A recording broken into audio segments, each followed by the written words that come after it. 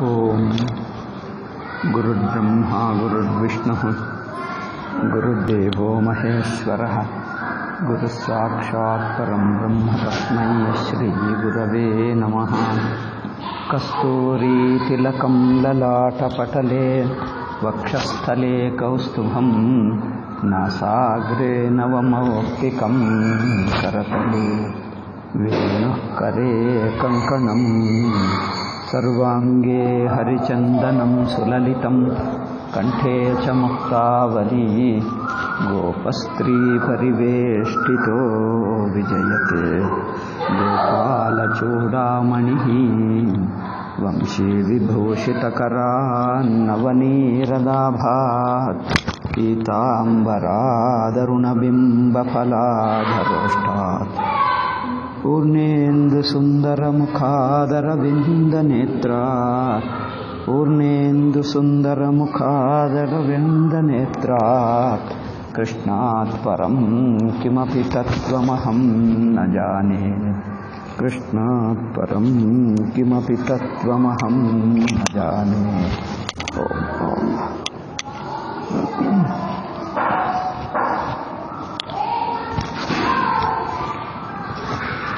ॐ ॐ सभाजयित्वा तमनङ्गदीपनं सहासलीलेक्षणविभ्रवभ्र विभ्रमभ्रुवाः संस्पर्शनेनाङ्ककृताङ्घ्रिहस्तयोः संस्तुत्ययीषत्कुपिता बभाषिरे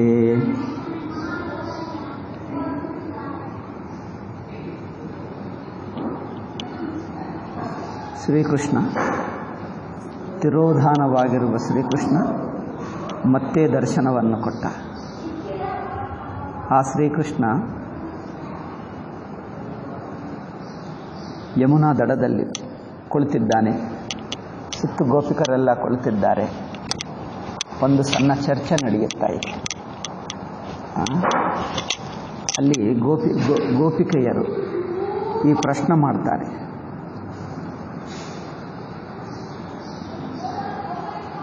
ಭಜತೋ ಅನುಭಜನ್ ಗೋಪ್ಯ ವೋಚು ಭಜತೋ ಅನುಭಜಂತ್ಯೇಕಃ ಏಕಃ ಏತದ್ವಿಪರ್ಯಯಂ no ಭಯಾಂಶ್ಚ ಭಜಂತ್ಯೇಕ ಏತನ್ನೋ ಬ್ರೂಹಿ ಸಾಧು ಭೋಃ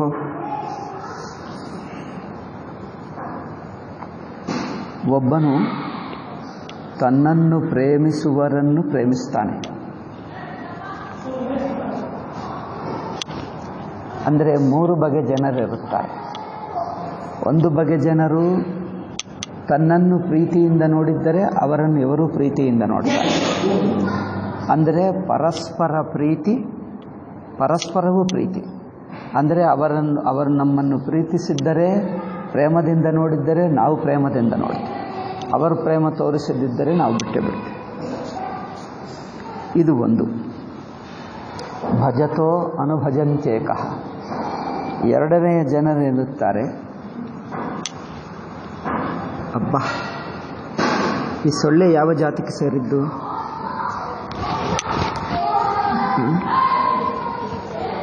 ಏಕ ಏತದ್ ವಿಪರ್ಯಯ. ಇನ್ನೊಬ್ಬರು ತನ್ನನ್ನು ಪ್ರೇಮಿಸದಿದ್ದರೂ ಏತದ್ ವಿಪರ್ಯಯಂ ಅಭಜತಃ. ತನ್ನನ್ನು ಪ್ರೇಮಿಸದಿದ್ದರೂ ಅವರನ್ನು ಪ್ರೇಮಿಸ್ತಾರೆ ಎರಡನೇ ಜನರು.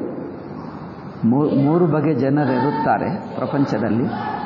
ಒಂದು ಬಗೆ ಜನರು ತಮ್ಮನ್ನು ಪ್ರೇಮಿಸಿದ್ದರೆ ಮಾತ್ರ ಪ್ರೇಮಿಸ್ತಾರೆ. ಎರಡನೇ ಜನರು ತಮ್ಮನ್ನು ಪ್ರೇಮಿಸದಿದ್ದರೂ ಪ್ರೇಮಿಸ್ತಾರೆ. ಮೂರನೇ ಜನರು ನೋ ಭಯಾಂಶ್ಚ ತನ್ನನ್ನು ಪ್ರೇಮಿಸಲಿ, ಪ್ರೇಮಿಸದೇ ಇರಲಿ. ಇಬ್ಬರನ್ನೂ ಉಪೇಕ್ಷ. ಇಬ್ಬರ ಮೇಲೇನೂ ಅವರಿಗೆ ಪ್ರೇಮ ಇಲ್ಲ.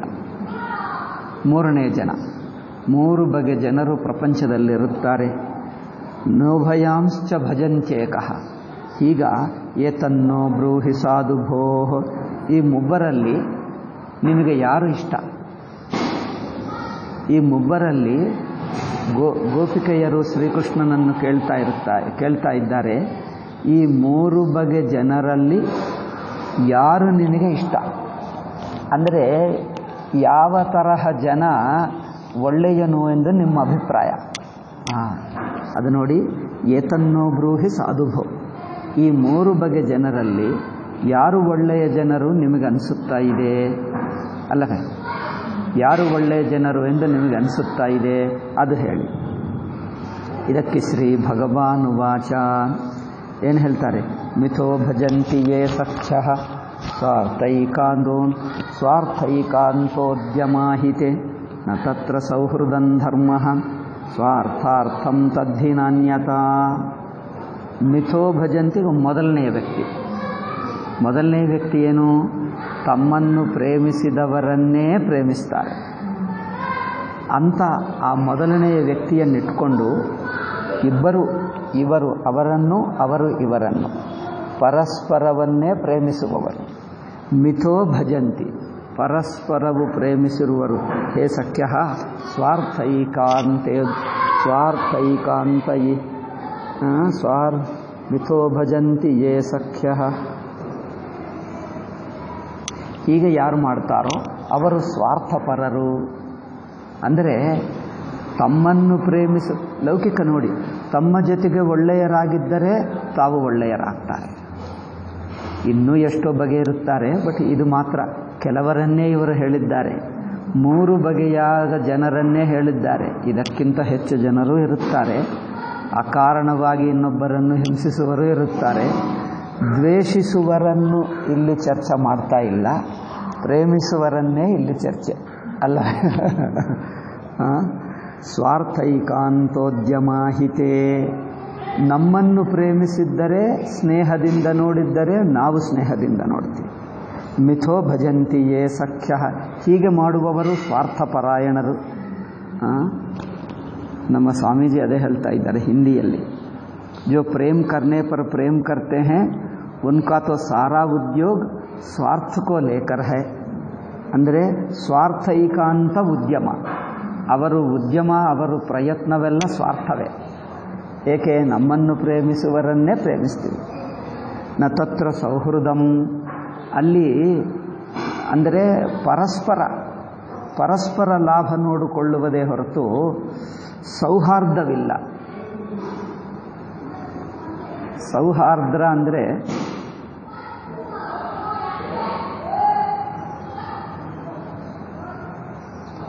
ನಿಸ್ವಾರ್ಥತ ಇಲ್ಲ ಎಂದರ್ಥ ಅಷ್ಟೇ.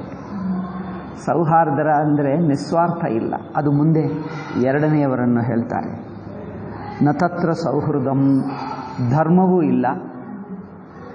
ಧರ್ಮ ಇಲ್ಲ. ಧರ್ಮ ಅಂದರೆ ತಾನು ಕಷ್ಟ ಸಹಿಸಿಕೊಂಡರೂ ಇಲ್ಲೊಬ್ಬರಿಗೆ ಮಾಡುವುದೇ ಧರ್ಮ ಆಗುತ್ತದೆ. ಅಲ್ಲವೇ? ತಾನು ಕಷ್ಟ ಪಟ್ಕೊಂಡರೂ ಇನ್ನೊಬ್ಬರಿಗೆ ಉಪಕಾರ ಮಾಡುವುದಾದರೆ ಅದು ವಿಶೇಷ ಧರ್ಮ. ನ ತತ್ರ ಸೌಹೃದನ್ ಧರ್ಮ. ಇಲ್ಲಿಯೂ ಧರ್ಮ ಇದೆ. ಇದು ಏನು ಹೇಳಬೇಕು? ಭಾಗವತ ಒಂದು ಸಂದರ್ಭದಲ್ಲಿ ಹೇಳ್ತಾ ಇದೆ. ಪರಸ್ಪರ ಪ್ರೇಮವು ಒಳ್ಳೆಯದೇ ಒಂದು ಹಂತದಲ್ಲಿ. ಅದಕ್ಕಿಂತ ಕ್ರೂರರು ದುಷ್ಟರಿದ್ದಾರೆ. ಅವರಿಗಿಂತ ಇದು ಒಳ್ಳೆಯದೇ. ಇವರು ಇದಕ್ಕಿಂತ ಮೇಲೆ ಮಟ್ಟವ, ಮೇಲೆ ಮಟ್ಟದ ನಿಸ್ವಾರ್ಥ ಪ್ರೇಮವನ್ನು ನಿಸ್ವಾರ್ಥ ಪ್ರೇಮವನ್ನು ಮನಸ್ಸಿನಲ್ಲಿ ಇಟ್ಕೊಂಡು ಇದು ಕೆಳಮಟ್ಟದ್ದು ಎಂದು ಹೇಳ್ತಾ ಇದ್ದಾರೆ. ನೋಡಿ, ಯಾವುದೇ ಹೇಳಲಿ, ವಿವಿಧ ಮಟ್ಟಗಳಿರುತ್ತವೆ. ಆಯಾ ಸಂದರ್ಭಕ್ಕೆ ಅನುಗುಣವಾಗಿ ಅರ್ಥ ಹೇಳಬೇಕಾಗ್ತದೆ. ಇಲ್ಲಿ ಹೇಳ್ತಾ ಇದ್ದಾರೆ, ಇವರಿಗೆ ಸಹೃದಯತ ಇಲ್ಲ ಹೇಳ್ತಾ ಇದ್ದಾರೆ. ಸಹೃದಯರು ಅಂದರೆ ಏನು? ಈಗ ನಾನು ಸಂಸ್ಕೃತ ಟೀಕಾ ತರಬಹುದಿತ್ತು, ತಂದೇ ಇಲ್ಲ. ಹಾಗೆ ಬಂದುಬಿಟ್ಟೆ. ಐ ಥಿಂಕ್ ನಾಳೆ ಹೇಳ್ತೀನಿ. ಇವತ್ತು ಎಷ್ಟು ಗೊತ್ತಿದೆಯೋ ಅಷ್ಟು ಹೇಳ್ತೀನಿ. ನಾಳೆ ಆ ಪುಸ್ತಕ, ಈ ಈ ಚರ್ಚೆ ತುಂಬ ಚೆನ್ನಾಗಿದೆ. ಇದು ಯಾರ ಮಧ್ಯ? ಸಾಮಾನ್ಯವಾಗಿ ಭಾಗವತದಲ್ಲಿ ಶ್ರೀಕೃಷ್ಣನ ಉಪದೇಶ ಕಡಿಮೆ, ಅಲ್ಲವೇ? ಭಗವದ್ಗೀತೆಯಲ್ಲಿ ಶ್ರೀಕೃಷ್ಣನ ಉಪದೇಶ ಇದೆ. ಇಲ್ಲಿಯೂ ಇದೆ, ಕೆಲವು ಕಡೆ ನೋಡಿ. ಇಲ್ಲಿ ಗೋಪಿಕರ ಜೊತೆಗೆ ಚರ್ಚಾ. ಗೋಪಿಕರ ಜೊತೆಗೇ ಒಂದು ಆಧ್ಯಾತ್ಮಿಕತಾ, ಒಂದು ಭಕ್ತಿಶಾಸ್ತ್ರ ಚರ್ಚೆ ಮಾಡ್ತಾ ಇದ್ದಾರೆ. ಇಂಥದ್ದು ಅಲ್ಲೆಲ್ಲಿ ಇರುತ್ತದೆ. ಎಲ್ಲಿ? ಗೋವರ್ಧನ ಸಂದರ್ಭದಲ್ಲಿ ಸ್ವಲ್ಪ ಉಪದೇಶ ಮಾಡಿದ. ಅಲ್ಲವೇ? ಆಗಾಗ ಆಗಾಗ ಒಂದೆರಡು ಮಾತುಗಳು ಒಂದೆರಡು ಮಾತುಗಳು ಹೇಳಿದ್ದ. ಹೆಚ್ಚು ಹೇಳಲಿಲ್ಲ ಎಂದೇನಲ್ಲ. ಅಲ್ಲೆಲ್ಲೆಲ್ಲೆಲ್ಲಿ ಒಂದೆರಡು ಒಂದೆರಡು ಮಾತುಗಳನ್ನು ಆ ಸೇರಿಸಿರುವ ಮಾತುಗಳನ್ನೆಲ್ಲ ಒಂದು ಕಡೆ ಸೇರಿಸಿಕೊಂಡರೆ ಇದು ಶ್ರೀಕೃಷ್ಣ ಉಪದೇಶ ಆಗುತ್ತದೆ. ಇನ್ನೊಂದು ಏಕಾದಶ ಸ್ಕಂದದಲ್ಲಿ. ಈಗ ನಾವು ದಶಮ ಸ್ಕಂದ ಹೇಳ್ತಾ ಇದ್ದೀವಿ.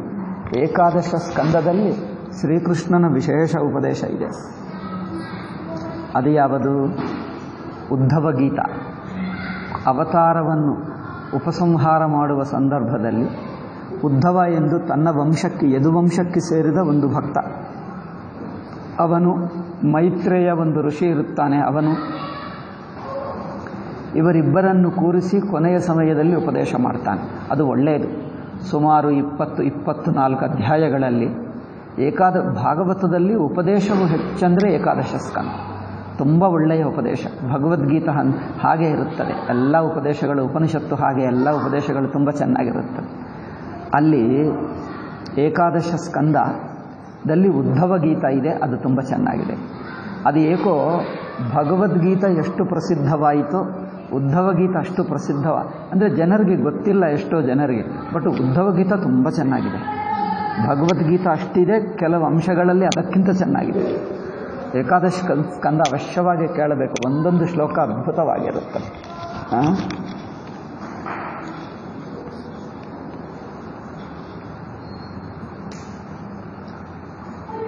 ಆದ್ದರಿಂದ ಇಲ್ಲಿ ಹೇಳ್ತಾ ಇದ್ದಾರೆ, ಒಬ್ಬರು ನಮ್ಮನ್ನು ಪ್ರೇಮದಿಂದ ನೋಡಿದ್ದರೆ ನಾವು ಪ್ರೇಮದಿಂದ ನೋಡ್ತೀವಿ.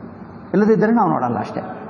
ಅಂದರೆ ಇದು ಏನಾಗ್ತಾ ಇದೆ? ಒಂದು ಪರಸ್ಪರ ಲೇನಾದೇನ. ಏನು ಹೇಳ್ತಾರೆ?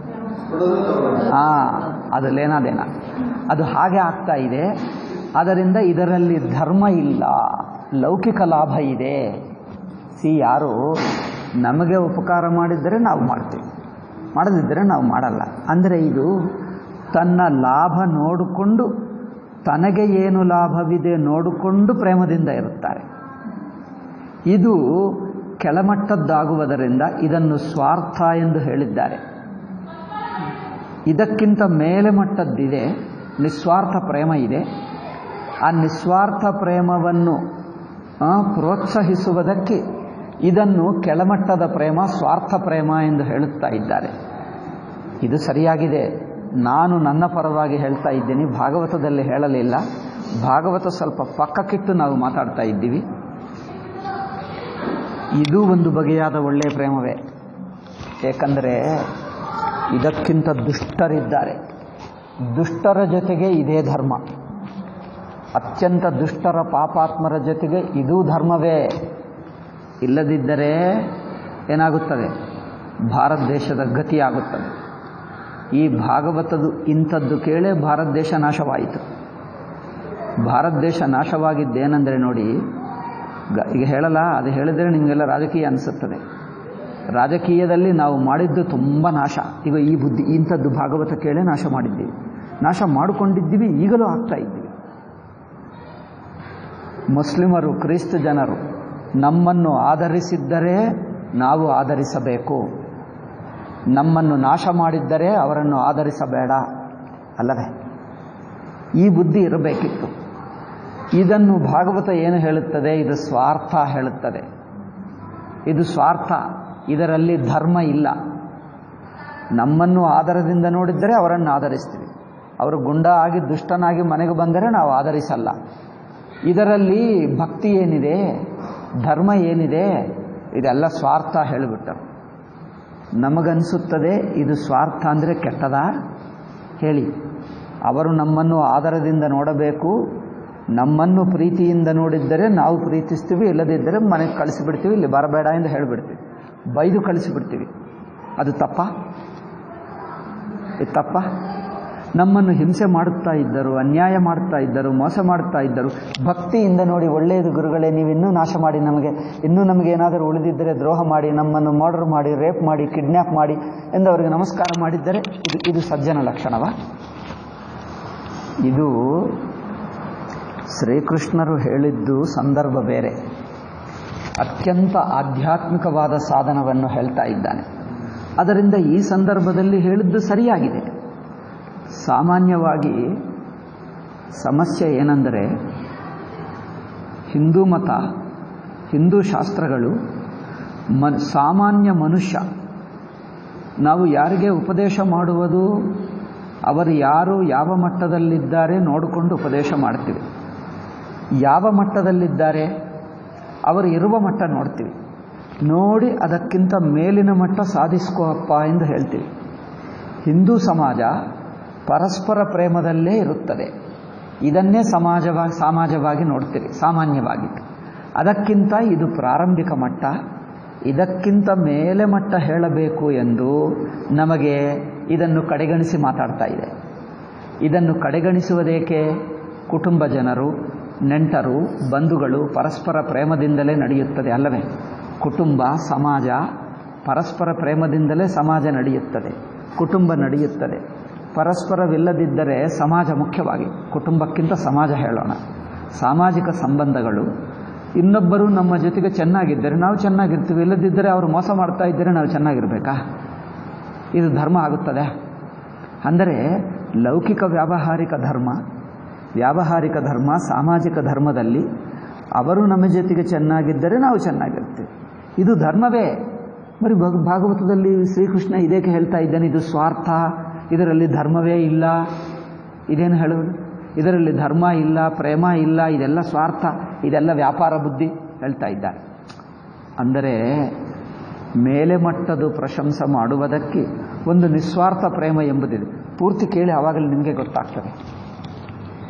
ಸ್ವಾರ್ಥಾರ್ಥಂ ತದ್ದಿನಾನ್ಯತ. ಇದರಲ್ಲಿ ಸ್ವಾರ್ಥ ಬಿಟ್ಟು ಏನಿಲ್ಲ ಹೇಳ್ತಾ ಇದ್ದಾರೆ. ಈ ಮೊದಲನೆಯ ಮಟ್ಟದ ಈಗ ಎರಡನೇ ಜನರಿದ್ದಾರೆ. ಭಜಂಚ ಭಜತೋ ಯೇ ವೈ ಕರುಣಾ ಪಿತರೋ ಯಥಾ. ನಮ್ಮನ್ನು ಪ್ರೇಮದಿಂದ ನೋಡದಿದ್ದರೂ ನಾವು ಪ್ರೇಮನೆ ಮಾಡ್ತಾ ಇರ್ತೀವಿ. ಇದು ಎರಡನೇ ವ್ಯಕ್ತಿ. ಇವರು ಯಾರು ಅಂದರೆ ತಾಯಿ ತಂದೆ. ಅಂದರೆ ತನ್ನ ಮಕ್ಕಳ ಮೇಲೆ ಮಕ್ಕಳು ತಮ್ಮನ್ನು ಉಪೇಕ್ಷೆ ಮಾಡಿದ್ದರು, ಕಡೆಗಣಿಸಿದ್ದರು, ಅವರು ನೋಡುವುದೇ ಇಲ್ಲ, ತನ್ನ ಪಾಡಿಗೆ ತಾವಿರುತ್ತಾರೆ. ಆದರೂ ತಾಯಿ ತಂದೆ ಮಾತ್ರ ಅವರು ಸುಖವಾಗಿರಬೇಕೆಂದೇ ಇಷ್ಟಪಡ್ತಾರೆ, ಹಾಗೆ ಬೇಡ್ಕೊಳ್ತಾರೆ. ಅಂದರೆ ಕರುಣ, ಇದರಲ್ಲಿ ಕರುಣ ಕಾರಣ.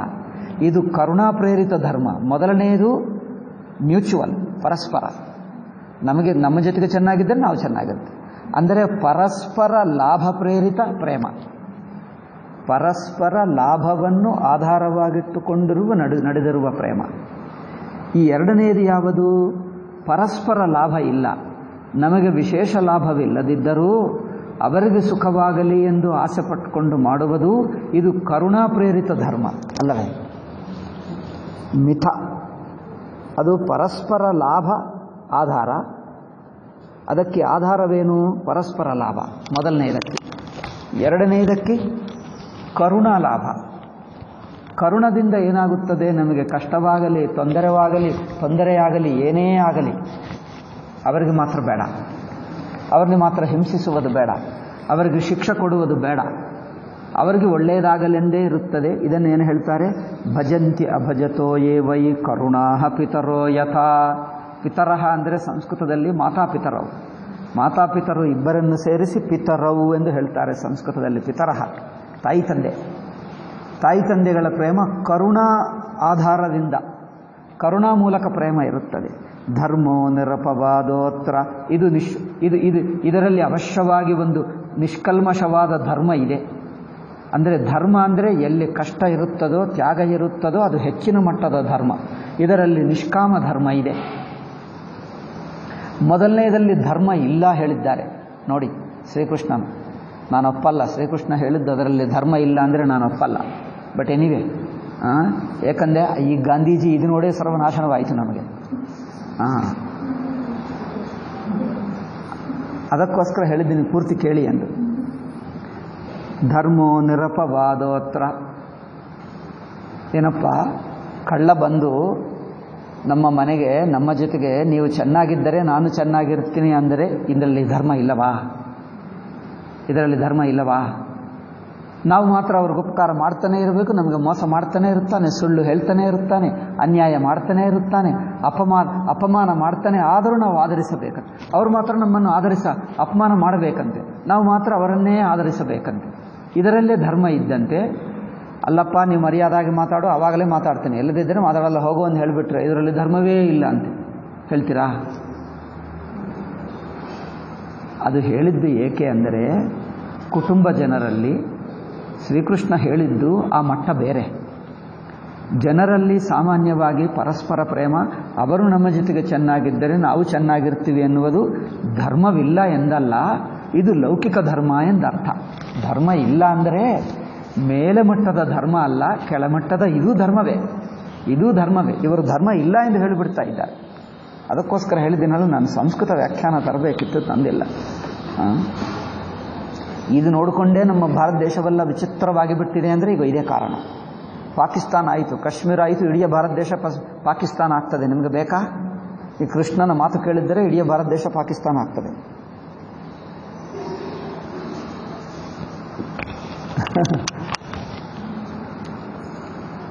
ಅಂದರೆ ಶ್ರೀಕೃಷ್ಣರು ಹೇಳಿದ್ದು ಲೌಕಿಕ ಧರ್ಮ, ಪರಸ್ಪರ ಪ್ರೇಮ ಇದ್ದೇ ಇರುತ್ತದೆ. ಅದನ್ನು ಹೇಳುವುದೇಕೆ ಎಂದು ಹೇಳಬೇಕಾಗಿಲ್ಲ. ಸಿ, ಸಮಾಜ ಮಟ್ಟಕ್ಕೆ ಅನುಗುಣವಾಗಿ ಹೇಳ್ತೀವಿ ನೋಡಿ. ಗೃಹಸ್ಥರಿಗೆ ಒಂದು ಬಗೆಯಾದ ಧರ್ಮ ಹೇಳ್ತೀವಿ. ಸನ್ಯಾಸಿಗೆ ಇನ್ನೊಂದು ಬಗೆಯಾದ ಮಟ್ಟ ಧರ್ಮ ಹೇಳ್ತೀವಿ. ಗೃಹಸ್ಥರಿಗೆ ಧರ್ಮದಿಂದ ಸಂಪಾದನೆ ಮಾಡು. ಸಂಪಾದನೆ ಮಾಡಿದ್ದನ್ನು ಮತ್ತೆ ನಿಮಗೋಸ್ಕರನೇ ಬಳಸಿಕೊಳ್ಳುವುದರಲ್ಲಿ ದೊಡ್ಡತನವಿಲ್ಲ. ಇನ್ನೊಬ್ಬರಿಗೆ ಕೊಡು, ಪರೋಪಕಾರ ಮಾಡು ಎಂದು ಹೇಳ್ತೀವಿ.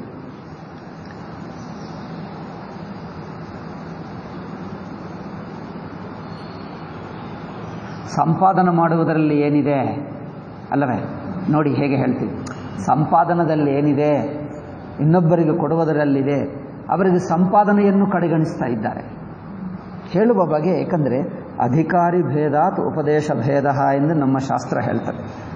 ಆ ಕೇಳುವ ಸಾಧಕನ ಅಧಿಕಾರ ಮಟ್ಟ, ಅದಕ್ಕೆ ಅನುಗುಣವಾಗಿ ಉಪದೇಶ. ಕೆಲವೊಮ್ಮರು ಸೋಮಾರಿಗಳಿರುತ್ತಾರೆ, ಸಂಪಾದನೆ ಮಾಡಲ್ಲ. ಅಂಥವರಿಗೆ ಆ ಸಂಪಾದನದಲ್ಲಿ ಏನಿದಪ್ಪ, ಖರ್ಚು ಮಾಡುವುದೇ ದೊಡ್ಡತನ ಅಂದರೆ ಅಮ್ಮ, ಅಪ್ಪ ಮಾಡಿದ್ದೆಲ್ಲ ಖರ್ಚು ಮಾಡ್ತಾನೆ, ಸಂಪಾದನೆ ಮಾಡಲ್ಲ. ಅವರನ್ನು ದೊಡ್ಡವರೆಂದು ಹೇಳ್ತೀರಾ? ನೋಡು ಪಾಪ, ಅವರು ಸಂಪಾದನೆ ಮಾಡಲ್ಲ. ಎಷ್ಟು ದೊಡ್ಡವರು ಎಂದು. ಅಂದರೆ ಅವರವರ ಮಟ್ಟಕ್ಕೆ ಅನುಗುಣವಾಗಿ ಹೇಳ್ತೀವಿ. ಯಾರು ಏನು ಸಂಪಾದನೆ ಮಾಡಲ್ಲವೋ, ಇರುವ ಮನೆಯಲ್ಲಿರುವುದೆಲ್ಲ ಖರ್ಚು ಮಾಡಿಬಿಡುತ್ತಾನೆ, ಸೋಮಾರಿಯಾಗಿರುತ್ತಾನೆ. ಅಂದರೆ ಏನು, ಇನ್ನೊಬ್ಬರದ್ದು ದೋಚ್ಕೊಂಡಿರ್ತಾನೆ. ಅವರಿಗೆ ಹೇಳ್ತೀವಿ ನೋಡಿ ಇನ್ನೊಬ್ಬರದು ತಗೊಳ್ಳಬೇಡ. ಸುಮ್ಮನೆ ಕೊಟ್ಟಿದ್ದು ತಗೊಳ್ಳಬೇಡ. ನೀವು ಸಂಪಾದನೆ ಮಾಡು ಅದೇ ನಿಮಗೆ ದೊಡ್ಡ ಧರ್ಮ. ಸಂಪಾದನೆ ಯಾರು ಸೋಮಾರಿಯಾಗಿರ್ತಾರೋ ಇನ್ನೊಬ್ಬರದು ಕಿತ್ಕೊಳ್ತಾರೋ, ಅವ್ರಿಗೇನು ಹೇಳ್ತೀವಿ? ಸೋಮಾರಿಯಾಗಿರುವುದರಲ್ಲಿ ಧರ್ಮವಿಲ್ಲ. ಇನ್ನೊಬ್ಬರು ಕೊಟ್ಟಿದ್ದು ತಗೊಂಡುವುದಲ್ಲಿ, ಇವನು ಹೇಳ್ತಾನೆ, ನಾನು ಇನ್ನೊಬ್ಬರು ದೋಚ್ಕೊಳ್ಳಲ್ಲ, ಸುಮ್ಮನೆ ಕೂತಿರ್ತೀನಿ, ಅವ್ರು ಕೊಟ್ಟರೆ ತೊಲ್ತೀನಿ ಇಲ್ಲದರೆ ಇಲ್ಲ. ಅದು ಸೋಮಾರಿತನವೇ. ಇನ್ನೊಬ್ಬರು ಕೊಟ್ಟರೆ ತಿಂತೀನಿ, ಇಲ್ಲದಿದ್ರೆ ಹೀಗೆ ಇರ್ತಾನೆ. ನೋಡಿ ಜನ ನೋಡಿ ಬಾ ಪಾಪ ಅವರು ಊಟ ಇಲ್ಲ, ಏನಿಲ್ಲ, ಹಾಗೆ ಬಿದ್ದಿದ್ದಾನೆ, ನೋಡಕ್ಕೆ ನಾವು ನೋಡೋಕ್ಕಾಗಲ್ಲ ಎಂದು ಇವರ ದಯದಿಂದ ಅವರಿಗೆ ಕೊಡ್ತಾರೆ. ಅವರ ದಯ ಇವರಿಗೆ ಲಾಭವಾಗಿ ಬಿಟ್ಟಿತ್ತು ಸುಮ್ಮನೆ ಕೂತಿರ್ತಾರೆ ಎಲ್ಲರ ಎದುರಾಗೆ ಕೂತಿರ್ತಾನೆ. ಏನು ಮಾಡಲ್ಲ. ಜನರಿಗನ್ಸ ಅಯ್ಯೋ, ಪಾಪ, ಏನೇ ಆಗಲಿ ಅಯ್ಯೋ, ಪಾಪ, ಊಟ ಇಲ್ಲ ಅವರಿಗೆಂದು ಬಂದು ತನ್ನ ದಯ ದಯದಿಂದ ಕೊಟ್ಟು ಕೊಟ್ಟು ಬಿಡ್ತಾನೆ, ಅಲ್ಲ? ಅದು ಲಾ ಅಡ್ವಾಂಟೇಜ್ ಲಾಭ ಮಾಡಿಕೊಂಡು ಏನು ಮಾಡ್ತಾನೆ? ಎಲ್ಲರ ಎದುರಾಗಿ ಕೂತ್ಕೋ, ಅವರಿಗೆ ಪಾಪ ಪಾಪ ಅನಿಸುವವರಿಗೆ ಇವರು ಅಯ್ಯ ಸುಖವಾಗಿ ಬದುಕುತ್ತಾನೆ, ಸೋಮಾರಿಯಾಗಿ, ಏನು ಕೆಲಸ ಇಲ್ಲ. ಅಂಥವರಿಗೆ ಏನು ಹೇಳಬೇಕು? ಕಷ್ಟಪಡಿ ಸಂಪಾದಿಸುವುದೇ ಒಳ್ಳೆಯದು. ಸುಮ್ಮನೆ ಯಾರ್ದು ತಗೊಳ್ಳಬೇಡ ಹೇಳ್ತೀವಿ ಅಲ್ಲವೇ? ಯಾರ್ದು ತಗೊಳ್ಳಬೇಡ, ನೀವು ಕಷ್ಟಪಡಲೇಬೇಕು, ಸಂಪಾದಿಸಲೇಬೇಕು. ಕೆಲವರು ಸಂಪಾದಿಸ್ತಾರೆ, ಸಂಪಾದಿಸಿ ತನ್ನ ಪಾಡಿಗೆ ತಾನು ಖರ್ಚು ಮಾಡಿಕೊಳ್ತಾನೆ, ತನ್ನ ಕುಟುಂಬ ತಾನು ಚೆನ್ನಾಗಿರ್ತಾನೆ ಅವರಿಗೆ ಹೇಳ್ತಾರೆ, ನಿಮಗೋಸ್ಕರ ಖರ್ಚು ಮಾಡುವುದರಲ್ಲಿಲ್ಲ. ಇನ್ನೊಬ್ಬರಿಗೆ ಕೊಡು. ಸಿ, ಆಯಾ ವ್ಯಕ್ತಿಗೆ ಅನುಗುಣವಾಗಿ ಹೇಳ್ತೀವಿ. ಎಲ್ಲರಿಗೂ ಒಂದೇ ಎಂದು ಹೇಳಲ್ಲ. ಇವರಿಗೆ ಹೇಳಿದ್ದು ಅವರಿಗೆ ತಪ್ಪಾಗ್ತದೆ. ಅಲ್ಲವೇ? ಸಂಪಾದನೆ ಮಾಡುವುದರಲ್ಲಿ ಏನಿದೆ? ಇವರೇನು? ಸಂಪಾದನೆ ಅವಶ್ಯವಾಗಿ ಮಾಡ್ತಾನೆ, ತುಂಬ ಕಷ್ಟಪಡ್ತಾ ಇದ್ದಾನೆ. ಬೇಕಾದಷ್ಟು ಸಂಪಾದನೆ ಮಾಡ್ತಾನೆ. ಆದರೆ ತನಗೆ ಮಾತ್ರ ಇಟ್ಕೊಳ್ತಾನೆ, ಇನ್ನೊಬ್ಬರು ಕೊಡಲ್ಲ. ಅಂಥವ್ರಿಗೆ ಹೇಳ್ತಾನೆ ಸಂಪಾದನದಲ್ಲಿ ಏನಿದೆ, ಮೊದಲು ಇನ್ನೊಬ್ಬರು ಕೊಡ. ಅದು ಮುಖ್ಯ ಅಂದ ಅವ್ರಿಗೆ ಹೇಳ್ತಾರೆ ಅವ್ರು ಇನ್ನೊಬ್ಬರು ಹೇಳ್ತಾ, ಆ, ಅದು ಚೆನ್ನಾಗಿದೆ ನೋಡಿ, ಸಂಪಾದನೆ ಬೇಡ ಹೇಳಿದ್ರಲ್ಲ, ನಾನು ಅದಕ್ಕೋಸ್ಕರನೇ ಮಾಡ್ತಾ ಇಲ್ಲ, ಸುಮ್ಮನೆ ಕೂತಿದ್ದೆ. ಸಿ, ಒಬ್ಬರಿಗೆ ಹೇಳಿದ್ದು ಇನ್ನೊಬ್ಬರಿಗೆ ಹೊಂದುತ್ತಾ ಇಲ್ಲ, ಅದು ತೊಂದರೆ. ಯಾರಿಗೆ ಹೇಳಿದ್ದರೂ, ಯಾವ ಮಟ್ಟಕ್ಕೆ ಹೇಳಿದ್ದರೂ ಗೊತ್ತಾಗ್ತಾ ಇಲ್ಲ. ಹಿಂದೂಗಳಲ್ಲಿ ಆಗಿರುವ ಈ ಗೊಂದಲ ಎಲ್ಲ ಇದೆ. ಆ? ಗಾಂಧೀಜಿಗೆ ಏನನಿಸಿತು ಅವರು ಮುಸ್ಲಿಮರು ನಮ್ಮನ್ನು ಆಧಾರದಿಂದ ನೋಡಿದ್ದರೆ ನಾವು ಆಧರಿಸ್ತೀವಿ. ಇದರಲ್ಲಿ ಸ್ವಾರ್ಥ ಇದೆ ಎಂದು ಹೇಳಿದ ಗಾಂಧೀಜಿ. ಬೇಡ. ಅವರು ನಮಗೆ ಅನ್ಯಾಯ ಮಾಡಿದ್ದರು, ಸಾಯಿಸಿದ್ದರು ಮರ್ಡರ್ ಮಾಡಿದ್ದರು ರೇಪ್ ಮಾಡಿದ್ದರು. ಸ್ಟಿಲ್ ಅವರನ್ನೇ ಭಕ್ತಿಯಿಂದ ನೋಡು. ವ್ಯಾಪಾರ ಮಾಡಬಾರದು ಹೇಳ್ತಾನೆ. ವ್ಯಾಪಾರವು ಬೇಡ. ವ್ಯಾಪಾರವು ಬೇಡ ಅಂದರೆ ದುರ್ಯೋಧನ ನೋಡಿ. ದುರ್ಯೋಧನನಿಗೆ ರಾವಣನಿಗೆ ಏನು ಮಾಡಬೇಕು? ನಮ್ಮ ಸೀತೆಯನ್ನು ವಾಪಸ್ ಕೊಡು ಎಂದು ಹೇಳಬಾರದು. ಅವರಿಗೇ ಬಿಟ್ಟು ಬಿಡು. ನಿಸ್ವಾರ್ಥವಾಗುತ್ತದೆ ಅಲ್ಲವೇ? ರಾಜ್ಯವನ್ನು ಪಾಂಡವರಿಗೆ ಹೇಳಬೇಕು, ರಾಜ್ಯವನ್ನು ದುರ್ಯೋಧನಿಗೆ ಬಿಟ್ಟುಬಿಡು ಸೀತೆಯನ್ನು ರಾವಣನಿಗೆ ಬಿಟ್ಟುಬಿಡು. ಈಗ ಯುದ್ಧ ಮಾಡಬೇಡ. ಇದಾಗುತ್ತದೆ. మరి ರಾಮಚಂದ್ರನೇ ಮಾಡಲಿಲ್ಲವಲ್ಲ? ಇದು ನೋಡಿ ರಾವಣನಿಗೆ ಹೇಳಿಬಿಟ್ಟ ಪತ್ನಿಯನ್ನು ವಾಪಸ್ ಕೊಡು. ಇಲ್ಲದಿದ್ದರೆ ಸಾಯಿಸ್ತೀನಿ. ನೀನು ನನ್ನ ಜೊತೆಗೆ ಮರ್ಯಾದ ಆಗಿದ್ದರೆ ನಾನು ಮರ್ಯಾದ ಆಗ ಇಲ್ಲದಿದ್ದರೆ ಇಲ್ಲ. ಶ್ರೀಕೃಷ್ಣ ಹೇಳಿದ್ದು ಇದರಲ್ಲಿ ಧರ್ಮ ಇಲ್ಲ, ಭಕ್ತಿ ಇಲ್ಲ. ಇದೊಂದು ಸ್ವಾರ್ಥವೇ ಸ್ವಾರ್ಥ ಎಂದು. ಬರೀ ಎಲ್ಲರಿಗಿಂತ ದೊಡ್ಡ ಸ್ವಾರ್ಥ ರಾಮಚಂದ್ರನದೇ. ಅಲ್ಲವೇ? ಈಗ ಈ ಶ್ರೀಕೃಷ್ಣನ ಉಪದೇಶ ತಗೊಂಡರೆ ಎಲ್ಲರಿಗಿಂತ ಹೆಚ್ಚಿನ ಸ್ವಾರ್ಥ ಪರಾಯಣರು ಆ, ಆ, ಏನು ರಾಮಚಂದ್ರನೇ? ಎಲ್ಲರಿಗಿಂತ ನಿಸ್ವಾರ್ಥ ಯಾರೋ ಗೊತ್ತಾ? ಈ ಈ ಅಳತೆ ಇಟ್ಕೊಂಡರೆ ನಾನು ಸುಮ್ಮನೆ ವಿಮರ್ಶೆ ಮಾಡ್ತಾ ಇದ್ದೀನಿ. ಈ ಅಳತೆ ಇಟ್ಕೊಂಡರೆ ಎಲ್ಲರಿಗಿಂತ ಸ್ವಾರ್ಥಪರರು ಯಾರು? ರಾಮಚಂದ್ರ. ಎಲ್ಲರಿಗಿಂತ ನಿಸ್ವಾರ್ಥ ಯಾರು? ಗಾಂಧೀಜಿ. ಅಲ್ಲವೇ? ಎಲ್ಲರಿಗಿಂತ ನಿಸ್ವಾರ್ಥ. ಭಾರತೀಯವನ್ನು ಸಾಯಿಸಿಬಿಟ್ಟು ಪಾಕಿಸ್ತಾನ ಮಾಡಿ ಇನ್ನೂ ದೋಚ್ಕೊಂಡರು. ನೀವು ಅಡ್ಡಿ ಮಾಡಬೇಡ, ಅವ್ರನ್ನ ಎದುರಿಸಬೇಡ. ಕಳ್ಳ ಮನೆಗೆ ಬಂದರೆ ಏನು ಮಾಡಬೇಕು ಅಂದರೆ, ತಪ್ಪು ನಿನ್ನದೇ ಎಂದು ಹೇಳಿದ್ದ. ನೀವು ಮನೆಯಲ್ಲಿ ಇಟ್ಕೊಂಡಿದ್ದೀವಿ ಅದರಿಂದ ತಪ್ಪು ನಿನ್ನದೇ ಕಳ್ಳ ತಗೊಂಡು ಬಿಟ್ಟರೆ ತಪ್ಪು ಅವರದಲ್ಲ, ನಿನ್ನದೇ ತಪ್ಪು ಏನು ಹೇಳಿ. ಈಗ ನಿಸ್ವಾರ್ಥರು ಯಾರು ಇದರಲ್ಲಿ? ಗಾಂಧೀಜಿ ಒಬ್ಬನೇ ನಿಸ್ವಾರ್ಥ. ರಾಮಚಂದ್ರ ಸ್ವಾರ್ಥ. ಅದಕ್ಕಾಗಿ ಭಾರತ ದೇಶ ಗತಿ ರಾಮಚಂದ್ರನನ್ನು ಪಾಂಡವರನ್ನು ಶ್ರೀಕೃಷ್ಣನನ್ನೇ ಮಹಾಭಾರತ ರಾಮಾಯಣವನ್ನೇ ತಪ್ಪು ಹಿಡಿದು ಈ ಮೂರ್ಖ ಬುದ್ಧಿ ಇಟ್ಕೊಳ್ಳುವ ಗಾಂಧೀಜಿನಿಂದ ಭಾರತ ದೇಶ ಗತಿ ಹೀಗಾಯಿತು. ಈಗ ವೇದಶಾಸ್ತ್ರಗಳನ್ನೇ ಬಿಟ್ಟರೆ ಬುದ್ಧಿವಂತನಾಗ್ತಾನ ಇವನು? ಯಾರೇ ಆಗಲಿ, ಗಾಂಧೀಜಿ ಹೇಳ್ತಾ ಇಲ್ಲ, ಎಲ್ಲರೂ ಅಷ್ಟೇ. ನೀವು ನೋಡಿ, ಅಂದರೆ ಆಯಾ ಮಟ್ಟಕ್ಕೆ ಹೇಳಿದ್ದೇವೆ. ಸೋಮಾರಿಯಾಗಿ ಬಿಕ್ ಜನರು ಒಳ್ಳೆಯ ಜನರಿದ್ದಾರೆ. ಏನಿಲ್ಲ ಅಂದರೆ ಭಿಕ್ಷೆ ಕೊಡ್ತಾ ಇದ್ದಾರೆ. ಅದರಿಂದ ತಗೊಳ್ಳೋಣ, ಏಕೆ ಕಷ್ಟಪಡುವುದು? ಎಲ್ಲರನ್ನು ಭಿಕ್ಷೆ ಮಾಡ್ಕೋ, ರೆಡಿಮೇಡ್ ಕೊಡ್ತದೆ, ಕಷ್ಟಪಡದೆ ಬಗೆ. ಯಾರೋ ಹೇಳಿದ್ರು ಗೊತ್ತಾ? ನೀವು ಮನೆಯಲ್ಲಿ ಮಾಡಿಕೊಂಡ್ರೆ ಒಂದೇ ತರಕಾರಿ ತರಕಾರಿ ಹೇಳ್ತಾರೆ, ಏನು ಹೇಳ್ತಾರೆ? ಪಲ್ಯ ಹೇಳ್ತಾರೆ. ನೀವು ಒಂದೇ ಪಲ್ಯ ಮಾಡ್ಕೊಳ್ತೀರಿ, ಸಾರು, ಏನು, ಒಂದು ಪಾಯಸ ಒಂದೇ ಮಾಡ್ಕೊಳ್ತೀರಿ. ಭಿಕ್ಷುಕನಿಗೆ ಎಷ್ಟು ಬಗೆ ಸಿಗ್ತದೆ? ಎಷ್ಟು ಬಗೆ ಪಲ್ಯ, ಎಷ್ಟು ಬಗೆ ಸಾರ? ಅಯ್ಯೋ, ಎಷ್ಟು ಬಗೆ ಬಗೆ ಬಗೆ ಬಗೆ ಸಿಗ್ತದೆ. ನಿಮಗೆ ಒಂದೇ ಒಂದು, ಅಲ್ಲವೇ? ನಿಮ್ಮ ಮನೆಯಲ್ಲಿ ಹೋಳಿಗೆ, ಅವರ ಮನೆಯಲ್ಲಿ ಇನ್ನೊಂದು, ಅವರ ಮನೆಯಲ್ಲಿ ಇನ್ನೊಂದು, ಇವರ ಮನೆಯಲ್ಲಿ, ಅವರ ಮನೆಯಲ್ಲಿ ಇನ್ನೊಂದು. ಅಂದರೆ ಒಬ್ಬೊಬ್ಬರ ಮನೆಯಲ್ಲಿ ಒಂದೊಂದು, ಅವರು ಒಬ್ಬನಿಗೆ ಐದು ಮನೆಯ ಊಟ ಸಿಗ್ತದೆ. ನೋಡಿ, ನಿಮಗಿಂತ ಭಿಕ್ಷುಕನೇ ಅದೃಷ್ಟವಂತ. ಅಲ್ಲ? ಅದರಿಂದ ಅವರು ಯಾವುದು ಕೆಲಸ ಮಾಡಲ್ಲ. ಸಂಪಾದನೆ ಮಾಡುವುದು ಸ್ವಾರ್ಥಪರ. ಸಂಪಾದನೆ ಮಾಡುವುದೇಕೆ ಎಂದು ಹೇಳಿಬಿಟ್ರೆ ಭಿಕ್ಷುಕ ಇದು ಚೆನ್ನಾಗಿದೆ ಎಂದು. ಎಲ್ಲರಿಗೂ ಒಂದೇ ಉಪದೇಶ ಅಲ್ಲ. ಆಯಾ ಮಟ್ಟ, ಆಯಾ ಸಂಸ್ಕಾರ, ಆಯಾ ಪರಿಪಕ್ವತೆಗೆ ಅನುಗುಣವಾಗಿ ಹೇಳಬೇಕು. ಮುಸ್ಲಿಂ ಅಂತ ಗುಂಡಾ ಜನರ ಜೊತೆಗೆ ಅವರು ಏನು ನಿಸ್ವಾರ್ಥವಾಗಿ ಅವರಿಗೆ ತ್ಯಾಗ ಮಾಡಬೇಕಂತ. ಅದೇ ಮೂರ್ಖ ಮಾತ್ರ ಹೇಳುತ್ತಾನೆ, ಯಾವ ಬುದ್ಧಿವಂತ. ಸಾಸಿವೆ ಕಾಲಷ್ಟು ಬುದ್ಧಿ ಇದ್ದರೂ ಹೀಗೆ ಮಾತಾಡಲ್ಲ. ಒಬ್ಬ ಬುದ್ಧಿ ಇಲ್ಲದ ಮೂರ್ಖನಂತ ಗಾಂಧಿ ಅಂತವನೇ ಮಾತಾಡ್ತಾನೆ. ವ್ಯತ್ಯಾಸವೇ ಗೊತ್ತಿಲ್ಲ. ಆಗ್ರಹ, ದುರಾಗ್ರಹ ಬಿಟ್ಟು ಈಗ ಗಾಂಧಿ ಇಲ್ಲ ಎಂದು ನಾವೇನೋ ಸುಮ್ಮನೆ ಕೂತಿದ್ದೇವರು, ಬದುಕಿರುವಾಗ ಮಾತು ಮಾತು ನೋಡಬೇಕು, ದುರಾಗ್ರಹ. ಹೀಗೆ ಆಗಬೇಕಿಲ್ಲದ ನಾನು ಉಪವಾಸ ಮಾಡ್ತೀನಿ, ಏನೋ ಮಾಡ್ತೀನಿ, ಏನೋ ಏನೋ ಮಾತಾಡ್ತಾನೆ. ಆಗ್ರಹ ಅಂದರೆ ಸುಮ್ಮನೆ ದುರಾಗ್ರಹಿ. ಪಾ. ಮಾತ್ರ ಹೀಗೆ ಆಗಬೇಕಷ್ಟೇ. ಹೀಗೆ ಆಗಬೇಕು. ಇಲ್ಲದಿದ್ದರೆ ನಾನು ಮಾಡಲೇ ಅಲ್ಲ, ಅಷ್ಟೇ. ಈ ದುರಾಗ್ರಹದಿಂದಲೇ ಈ ನಾಶ ಮಾಡಿಬಿಟ್ಟ. ದುರಾಗ್ರಹಿಗಳನ್ನು ಪಾಪಾತ್ಮ ಎಂದೇ ದುರ್ಯೋಧನನಿಗೆ, ರಾವಣನಿಗೆ ಎಷ್ಟು ದುರಾಗ್ರಹ ಇತ್ತೋ ಗಾಂಧೀಜಿಗೆ ಅಷ್ಟಿತ್ತು ದುರ್ಯೋಧನನಿಗೆ ಎಷ್ಟು ದುರಾಗ್ರಹ ಇತ್ತೋ ಎಷ್ಟು ದುರಾಗ್ರಹ ಇದೆ ದುರ್ಯೋಧನನಿಗೆ ಗೊತ್ತಾ? ನಿಮ್ಮ ಮಹಾಭಾರತ ಓದಿದ್ದರೆ ಗೊತ್ತಾಗ್ತದೆ. ಎಷ್ಟು ಎಷ್ಟು ಸಾವಿರ ಸಾವಿರ ಲಕ್ಷಗಳು ಹೇಳಿದ್ದಾರೆ ಲಕ್ಷ ಶ್ಲೋಕಗಳು. ಲಕ್ಷ ಶ್ಲೋಕಗಳೆಲ್ಲ ದುರ್ಯೋಧನಿಗೆ ಯಾವ ಶ್ಲೋಕ ಅವರ ಮೇಲೆ ಕೆಲಸ ಮಾಡಲಿಲ್ಲ. ದುರಾಗ್ರಹ ಪಾಂಡವರಿಗೆ ಏನು ಕೊನೆದು? ಸೂಚಿ ಸೂಚಿ ಹೇಳ್ತಾರ? ಸೂಚಿಯ ಏನು ಹೇಳ್ತಾರ? ಸೂಜಿ ಸೂಜಿಯ ಇದಕ್ಕೇನು ಹೇಳ್ತಾರೆ? ಅಲ್ಲಪ್ಪ ಕಣ್ಣಲ್ಲ ಈ ಮೊನೆ, ಮನೆ ಹೇಳ್ತಾರಾ? Okay okay. ತೆಲುಗಿನಲ್ಲಿ ಮನೆನೇ ಹೇಳ್ತೀವಿ. ಆ ಸೂಜಿ ಮನೆಯಲ್ಲಿ ಎಷ್ಟಿರುತ್ತದೋ ಅಷ್ಟು ಭೂಮಿ ಕೊಡಲ್ಲ ಎಂದು ಹೇಳಿದ. ಅದು ನೋಡಿದ್ದರೆ ಅನಿಸುತ್ತದಬ್ಬ ಗಾಂಧೀಜಿ ಹೀಗೆ ಇದ್ದಾನೆ. ಅಲ್ಲ.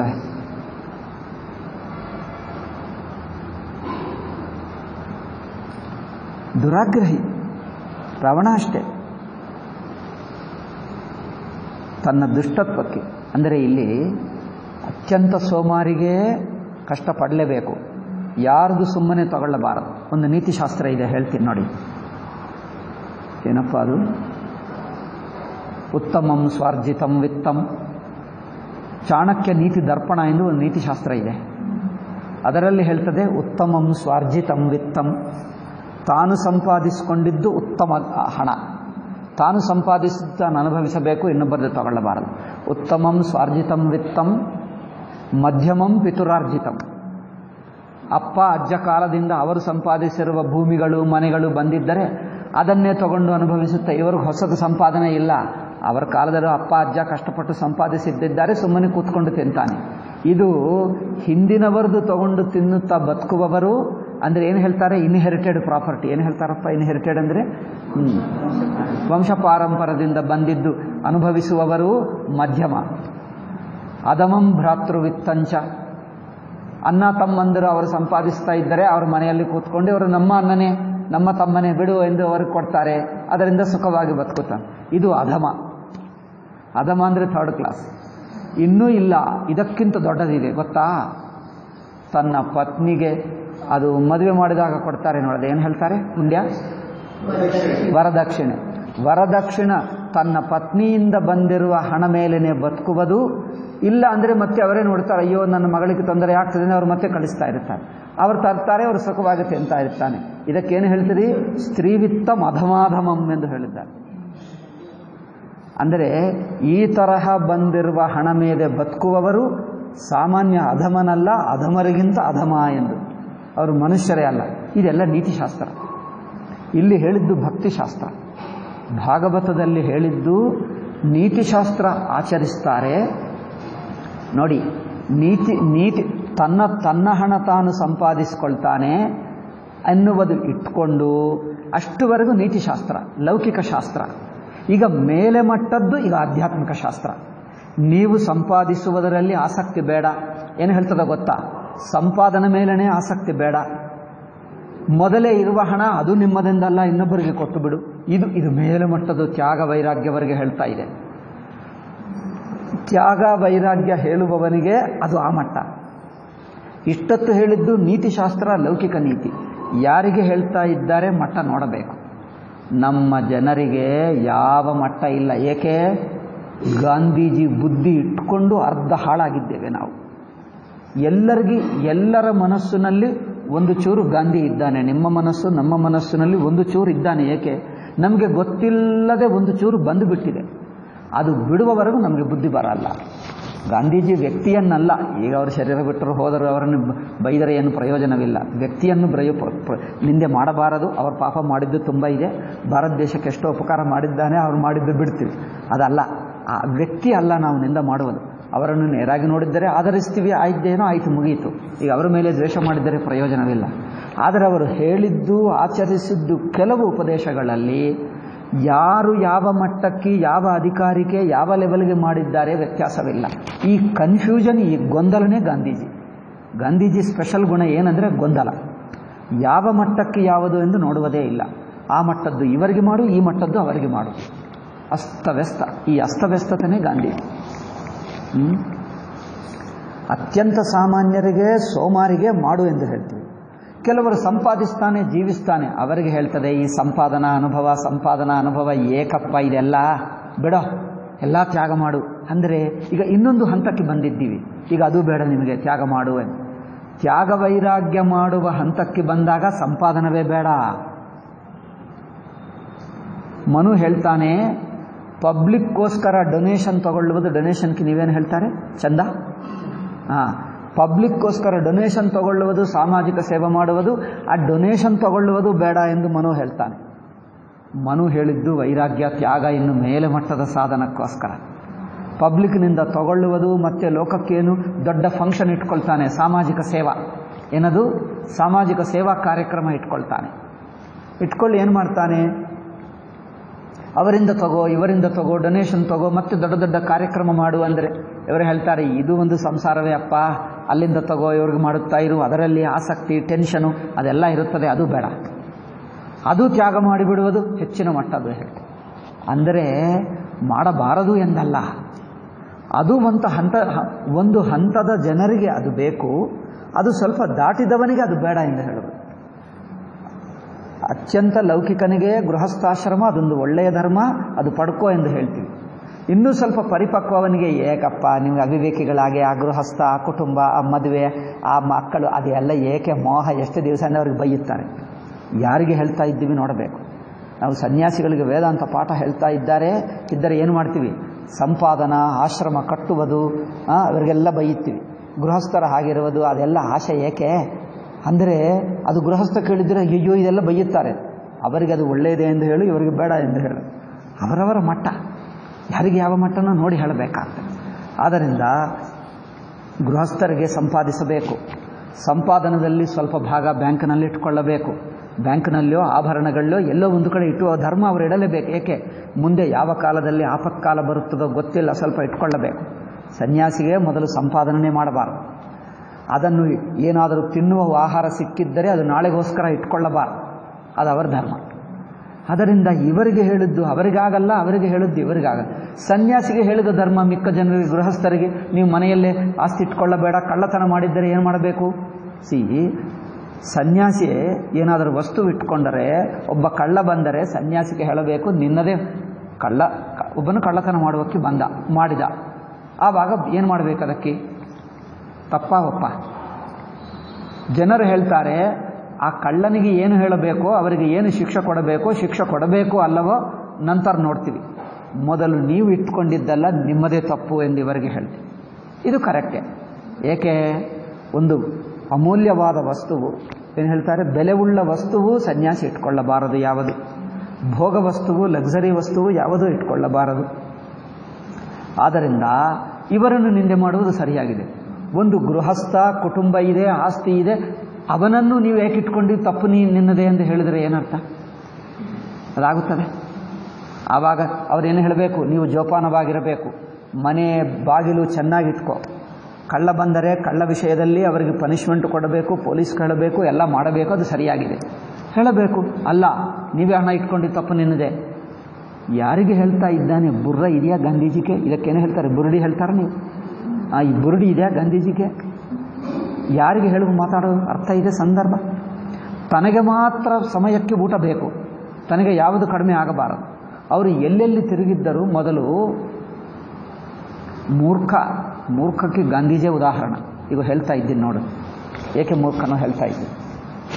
ಎಲ್ಲೋ ಪುಸ್ತಕದಲ್ಲಿ ಓದಿದ, ಅವರು ಹುಚ್ಚುಚ್ಚು ಮಾತಾಡ್ತಾನೆ. ಈಗ ಹುಚ್ಚುಚ್ಚು ನಿಮಗೆ ಗೊತ್ತಾಗ್ತದೆ, ಈಗ ಹೇಳ್ತಾ ಇದ್ದೀನಿ ಉದಾಹರಣೆ. ಮೊದಲು ಹುಚ್ಚು ಎಂದು ಹೇಳಿಬಿಟ್ಟು ಹೇಗೆ ಹುಚ್ಚು ಎಂದು ಉದಾಹರಣೆ ಹೇಳ್ತೀನಿ. ಹೇಳುವಕ್ಕೆ ಮುಂಚೆನೇ ಹೆಸರು ಹೆಸರಿಟ್ಟು ಬಿಟ್ಟೆ ಹೆಸರು ಮೊದಲು ಹೇಳ ಹೇಳಬಾರದು ಬಟ್ ಮೊದಲೇ ಹೇಳಿಬಿಟ್ಟಿದ್ದೀನಿ. ಈಗ ಉದಾಹರಣೆ ತೋರಿಸ್ತೀನಿ ನೋಡಿ. ಅವರು ಮೊದಲು ಹಾಲು ಕುಡಿಯುತ್ತಿದ್ದ. ಹಾಲು, ಮೊಸರು ಎಲ್ಲ ತಿನ್ನುತ್ತಿದ್ದ. ಯಾವುದೋ ಪುಸ್ತಕ ನೋಡಿದ. ಪಶುಗಳಿಗೆ, ಪ್ರಾಣಿಗಳಿಗೆ ಹಿಂಸೆ ಮಾಡಬಾರದು. ಮಾಂಸ, ಅದೇನು ಹೇಳ್ತಾರೆ? ನಾನ್ ವೆಜಿಟೇರಿಯನ್ ಇಂಗ್ಲೀಷ್ನಲ್ಲಿ ನಾನ್ ವೆಜಿಟೇರಿಯನ್ ಒಂದು ವಿಚಿತ್ರ ಮಾತು. ಭಾರತೀಯ ಭಾಷೆನೇ ಬೇರೆ. ವೆಜಿಟೇರಿಯನ್ ಅಂದರೆ ಏನು ಹೇಳ್ತೀರಿ? ಸಸ್ಯಾಹಾರ. ನಾನ್ ವೆಜಿಟೇರಿಯನ್ ಅಂದರೆ ಸಸ್ಯಾಹಾರವಲ್ಲದ್ದು. ಅಂದರೆ ಪ್ರಾಣಿಗಳಿಂದ ಬರುವುದು ಯಾವುದೇ ಆಹಾರ ಪ್ರಾಣಿಗಳಿಗೆ ಹಿಂಸೆ ಆಗುತ್ತದೆ. ಅದರಿಂದ ತಿನ್ನಬಾರದು ಅಂದರೆ ಪ್ರತಿಜ್ಞೆ ಮಾಡಿದ ನಾನು ಈ ದಿವಸದಿಂದ ಹಾಲೇ ಕುಡಿಯಲ್ಲ ಮೊಸರು ತಿನ್ನಲ್ಲ ಮಜ್ಜಿಗೆ ಕುಡಿಯಲ್ಲ. ಪ್ರತಿಜ್ಞೆ ಮಾಡಿಬಿಟ್ಟು. ಕೆಲವು ದಿವಸ ನಡೆಯಿತು ಯಾರೋ ಹೇಳಿದ್ದರು ನೀವು ಹಾಲು ಕುಡಿಯದಿದ್ದರೆ ನಿಮಗೆ ಶರೀರಕ್ಕೆ ಆರೋಗ್ಯವಿರಲ್ಲ. ಏಕೆ? ಹಾಲಲ್ಲಿ ಬರುವಂಥದ್ದು ಕೆಲವು ಪದಾರ್ಥಗಳಿರುತ್ತವೆ. ಕೇವಲ ಸಸ್ಯಾಹಾರ ತಿಂದರೆ ಕೆಲವು ಸಿಗಲ್ಲ. ಕೇವಲ ಸಸ್ಯಾಹಾರ ತಿನ್ನುವವರಿಗೆ ಹಾಲೊಂದೇ ದಾರಿ. ಹಾಲು, ಮೊಸರು, ಮಜ್ಜಿಗೆ, ತುಪ್ಪ, ಬೆಣ್ಣೆ ಇದೇ ದಾರಿ. ಇದರ ಮೂಲಕ ಕೆಲವು ಆಹಾರಗಳು ಬರುತ್ತವೆ. ಅದು ಕೇವಲ ಸಸ್ಯಗಳಿಂದ ಸಿಗಲ್ಲ. ಅದರಿಂದ ಮತ್ತೆ ಯಾರೋ ಹೇಳಿದ್ದರು ಡಾಕ್ಟರು, ಅದಲ್ಲ. ಇನ್ನೊಂದು, ಹಾಲು ತಗೊಂಡರೆ ಅದು ತಪ್ಪಿಲ್ಲ. ಏಕೆಂದರೆ ನಾನ್ ವೆಜಿಟೇರಿಯನ್ ಅಂದರೆ ಜನರು ಏನಂತ ತಿಳ್ಕೊಳ್ತಾರೆ? ಈ ಕಾಲದಲ್ಲಿ ಕನ್ಫ್ಯೂಸ್ ಕನ್ಫ್ಯೂಸ್, ಗೊಂದಲ ಗೊಂದಲ ಮಾಡಿಬಿಡ್ತಾ ಇದ್ದಾರೆ. ಇದೆಲ್ಲ ವಿದೇಶಿ ಬುದ್ಧಿ. ಈ ವಿದೇಶಿ ಬುದ್ಧಿ ನಮಗೆ ಗೊಂದಲ ಮಾಡುವುದು. ನಾನ್ ವೆಜಿಟೇರಿಯನ್ ಅಂದರೆ ಏನು ಹೇಳ್ತಾರೋ ಗೊತ್ತಾ? ಸಸ್ಯಾಹಾರವಲ್ಲದ್ದು. ಅದಕ್ಕೇನು ಹೇಳ್ತಾ ಇದ್ದಾರೆ? ನಾವೇನು ತಿಳ್ಕೊಂಡಿದ್ದೀರಿ ನಮ್ಮ ಜನರು? ಸಸ್ಯಾಹಾರವಲ್ಲದ್ದು ಅಂದರೆ ಹಾಲು ತಗೊಳ್ಳುವುದು ಸಸ್ಯಾಹಾರಕ್ಕೆ ಆಗುತ್ತೆ. ಏಕೆ? ಪ್ರಾಣಿಯನ್ನು ಸಾಯಿಸಿ ಮಾಂಸ ತಿಂದರೆ ಅದು ಪ್ರಾಣಿ ಹಿಂಸೆ ಆಗುತ್ತದೆ. ಹಾಲು ತಗೊಂಡುವುದಲ್ಲ, ಹಿಂಸೆ ಆಗಲ್ಲ. ಅದರಿಂದ ಹಾಲು ಅದಕ್ಕೆ ತನ್ನ, ಏನು ಹೇಳ್ತಾರೆ? ಮಗು ಮಗು ಅಂತ ಕರಿ ಕರು, ಕರಿ. ಕರು ಕರು ಕರು ಹಾಂ ತನ್ನ ಕರು ಹಾಂ ತನ್ನ ಕರುವಿಗೆ ಅದನ್ನು ಮರ್ತೆ ಹೋಗ್ತೀನಿ, ಕರು, ಕರೆಕ್ಟ್. ಹೌದು.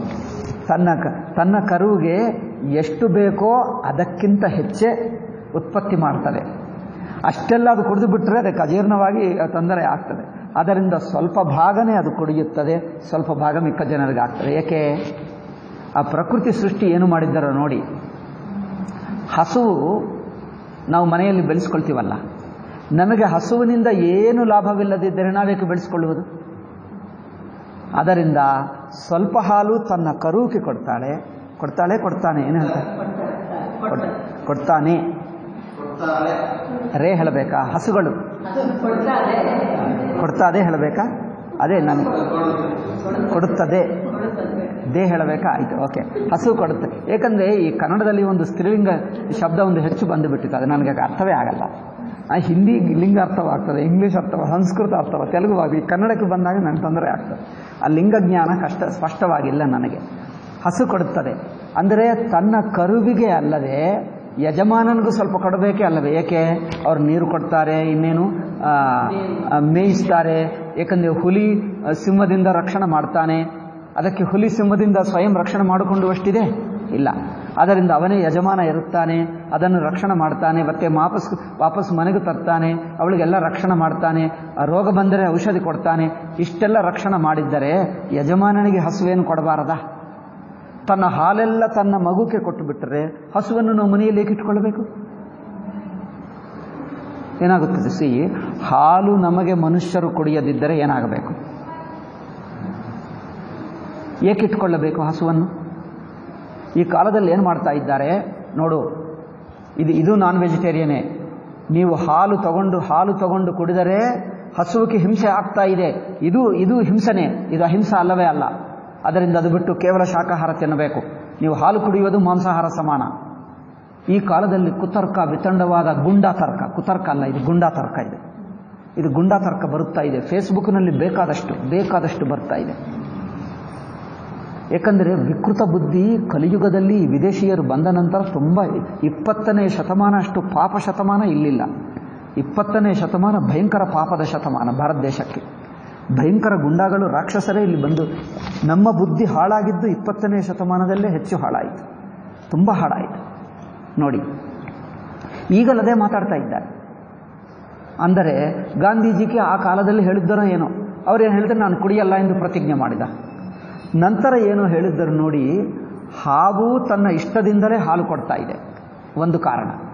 ತನ್ನ ಇಷ್ಟದಿಂದಲೇ ಕೊಡ್ತಾ ಇದೆ, ಹಾಲು ತನ್ನ ಪ್ರಾಣವನ್ನು ಕೈ ಕಾಲು ಕತ್ತರಿಸಿ ತಿಂತಾ ಇಲ್ಲ ನಾವು. ಅಲ್ಲವೇ? ಇನ್ನೊಂದು, ಇಡಿಯ ಕರುವಿಗೆ, ಇಡಿಯ ಹಾಲು ಕರುವಿಗೆ ಕುಡಿದರೆ ಅದು ಕಷ್ಟವಾಗ್ತದೆ. ನೀವು ಕರಿಯದಿದ್ದರೆ ಹಾಲುಕ್ಕೆ ಎಷ್ಟು ಹೊಟ್ಟೆ ತುಂಬುತ್ತದೋ ಅಷ್ಟೇ ಕೊಟ್ಟು ತಗೊಂಡು ಮಿಕ್ಕದು ಹಾಗೆ ಬಿಟ್ಟರೆ ಹಾಲು ತಯಾರಾದ ನಂತರ ನಾವು ಕರಿಯದಿದ್ದರೆ ಹಾಲಿನ ಆರೋಗ್ಯಕ್ಕೆ ಹಣ ಆಗ್ತದೆ ಗೊತ್ತಾ?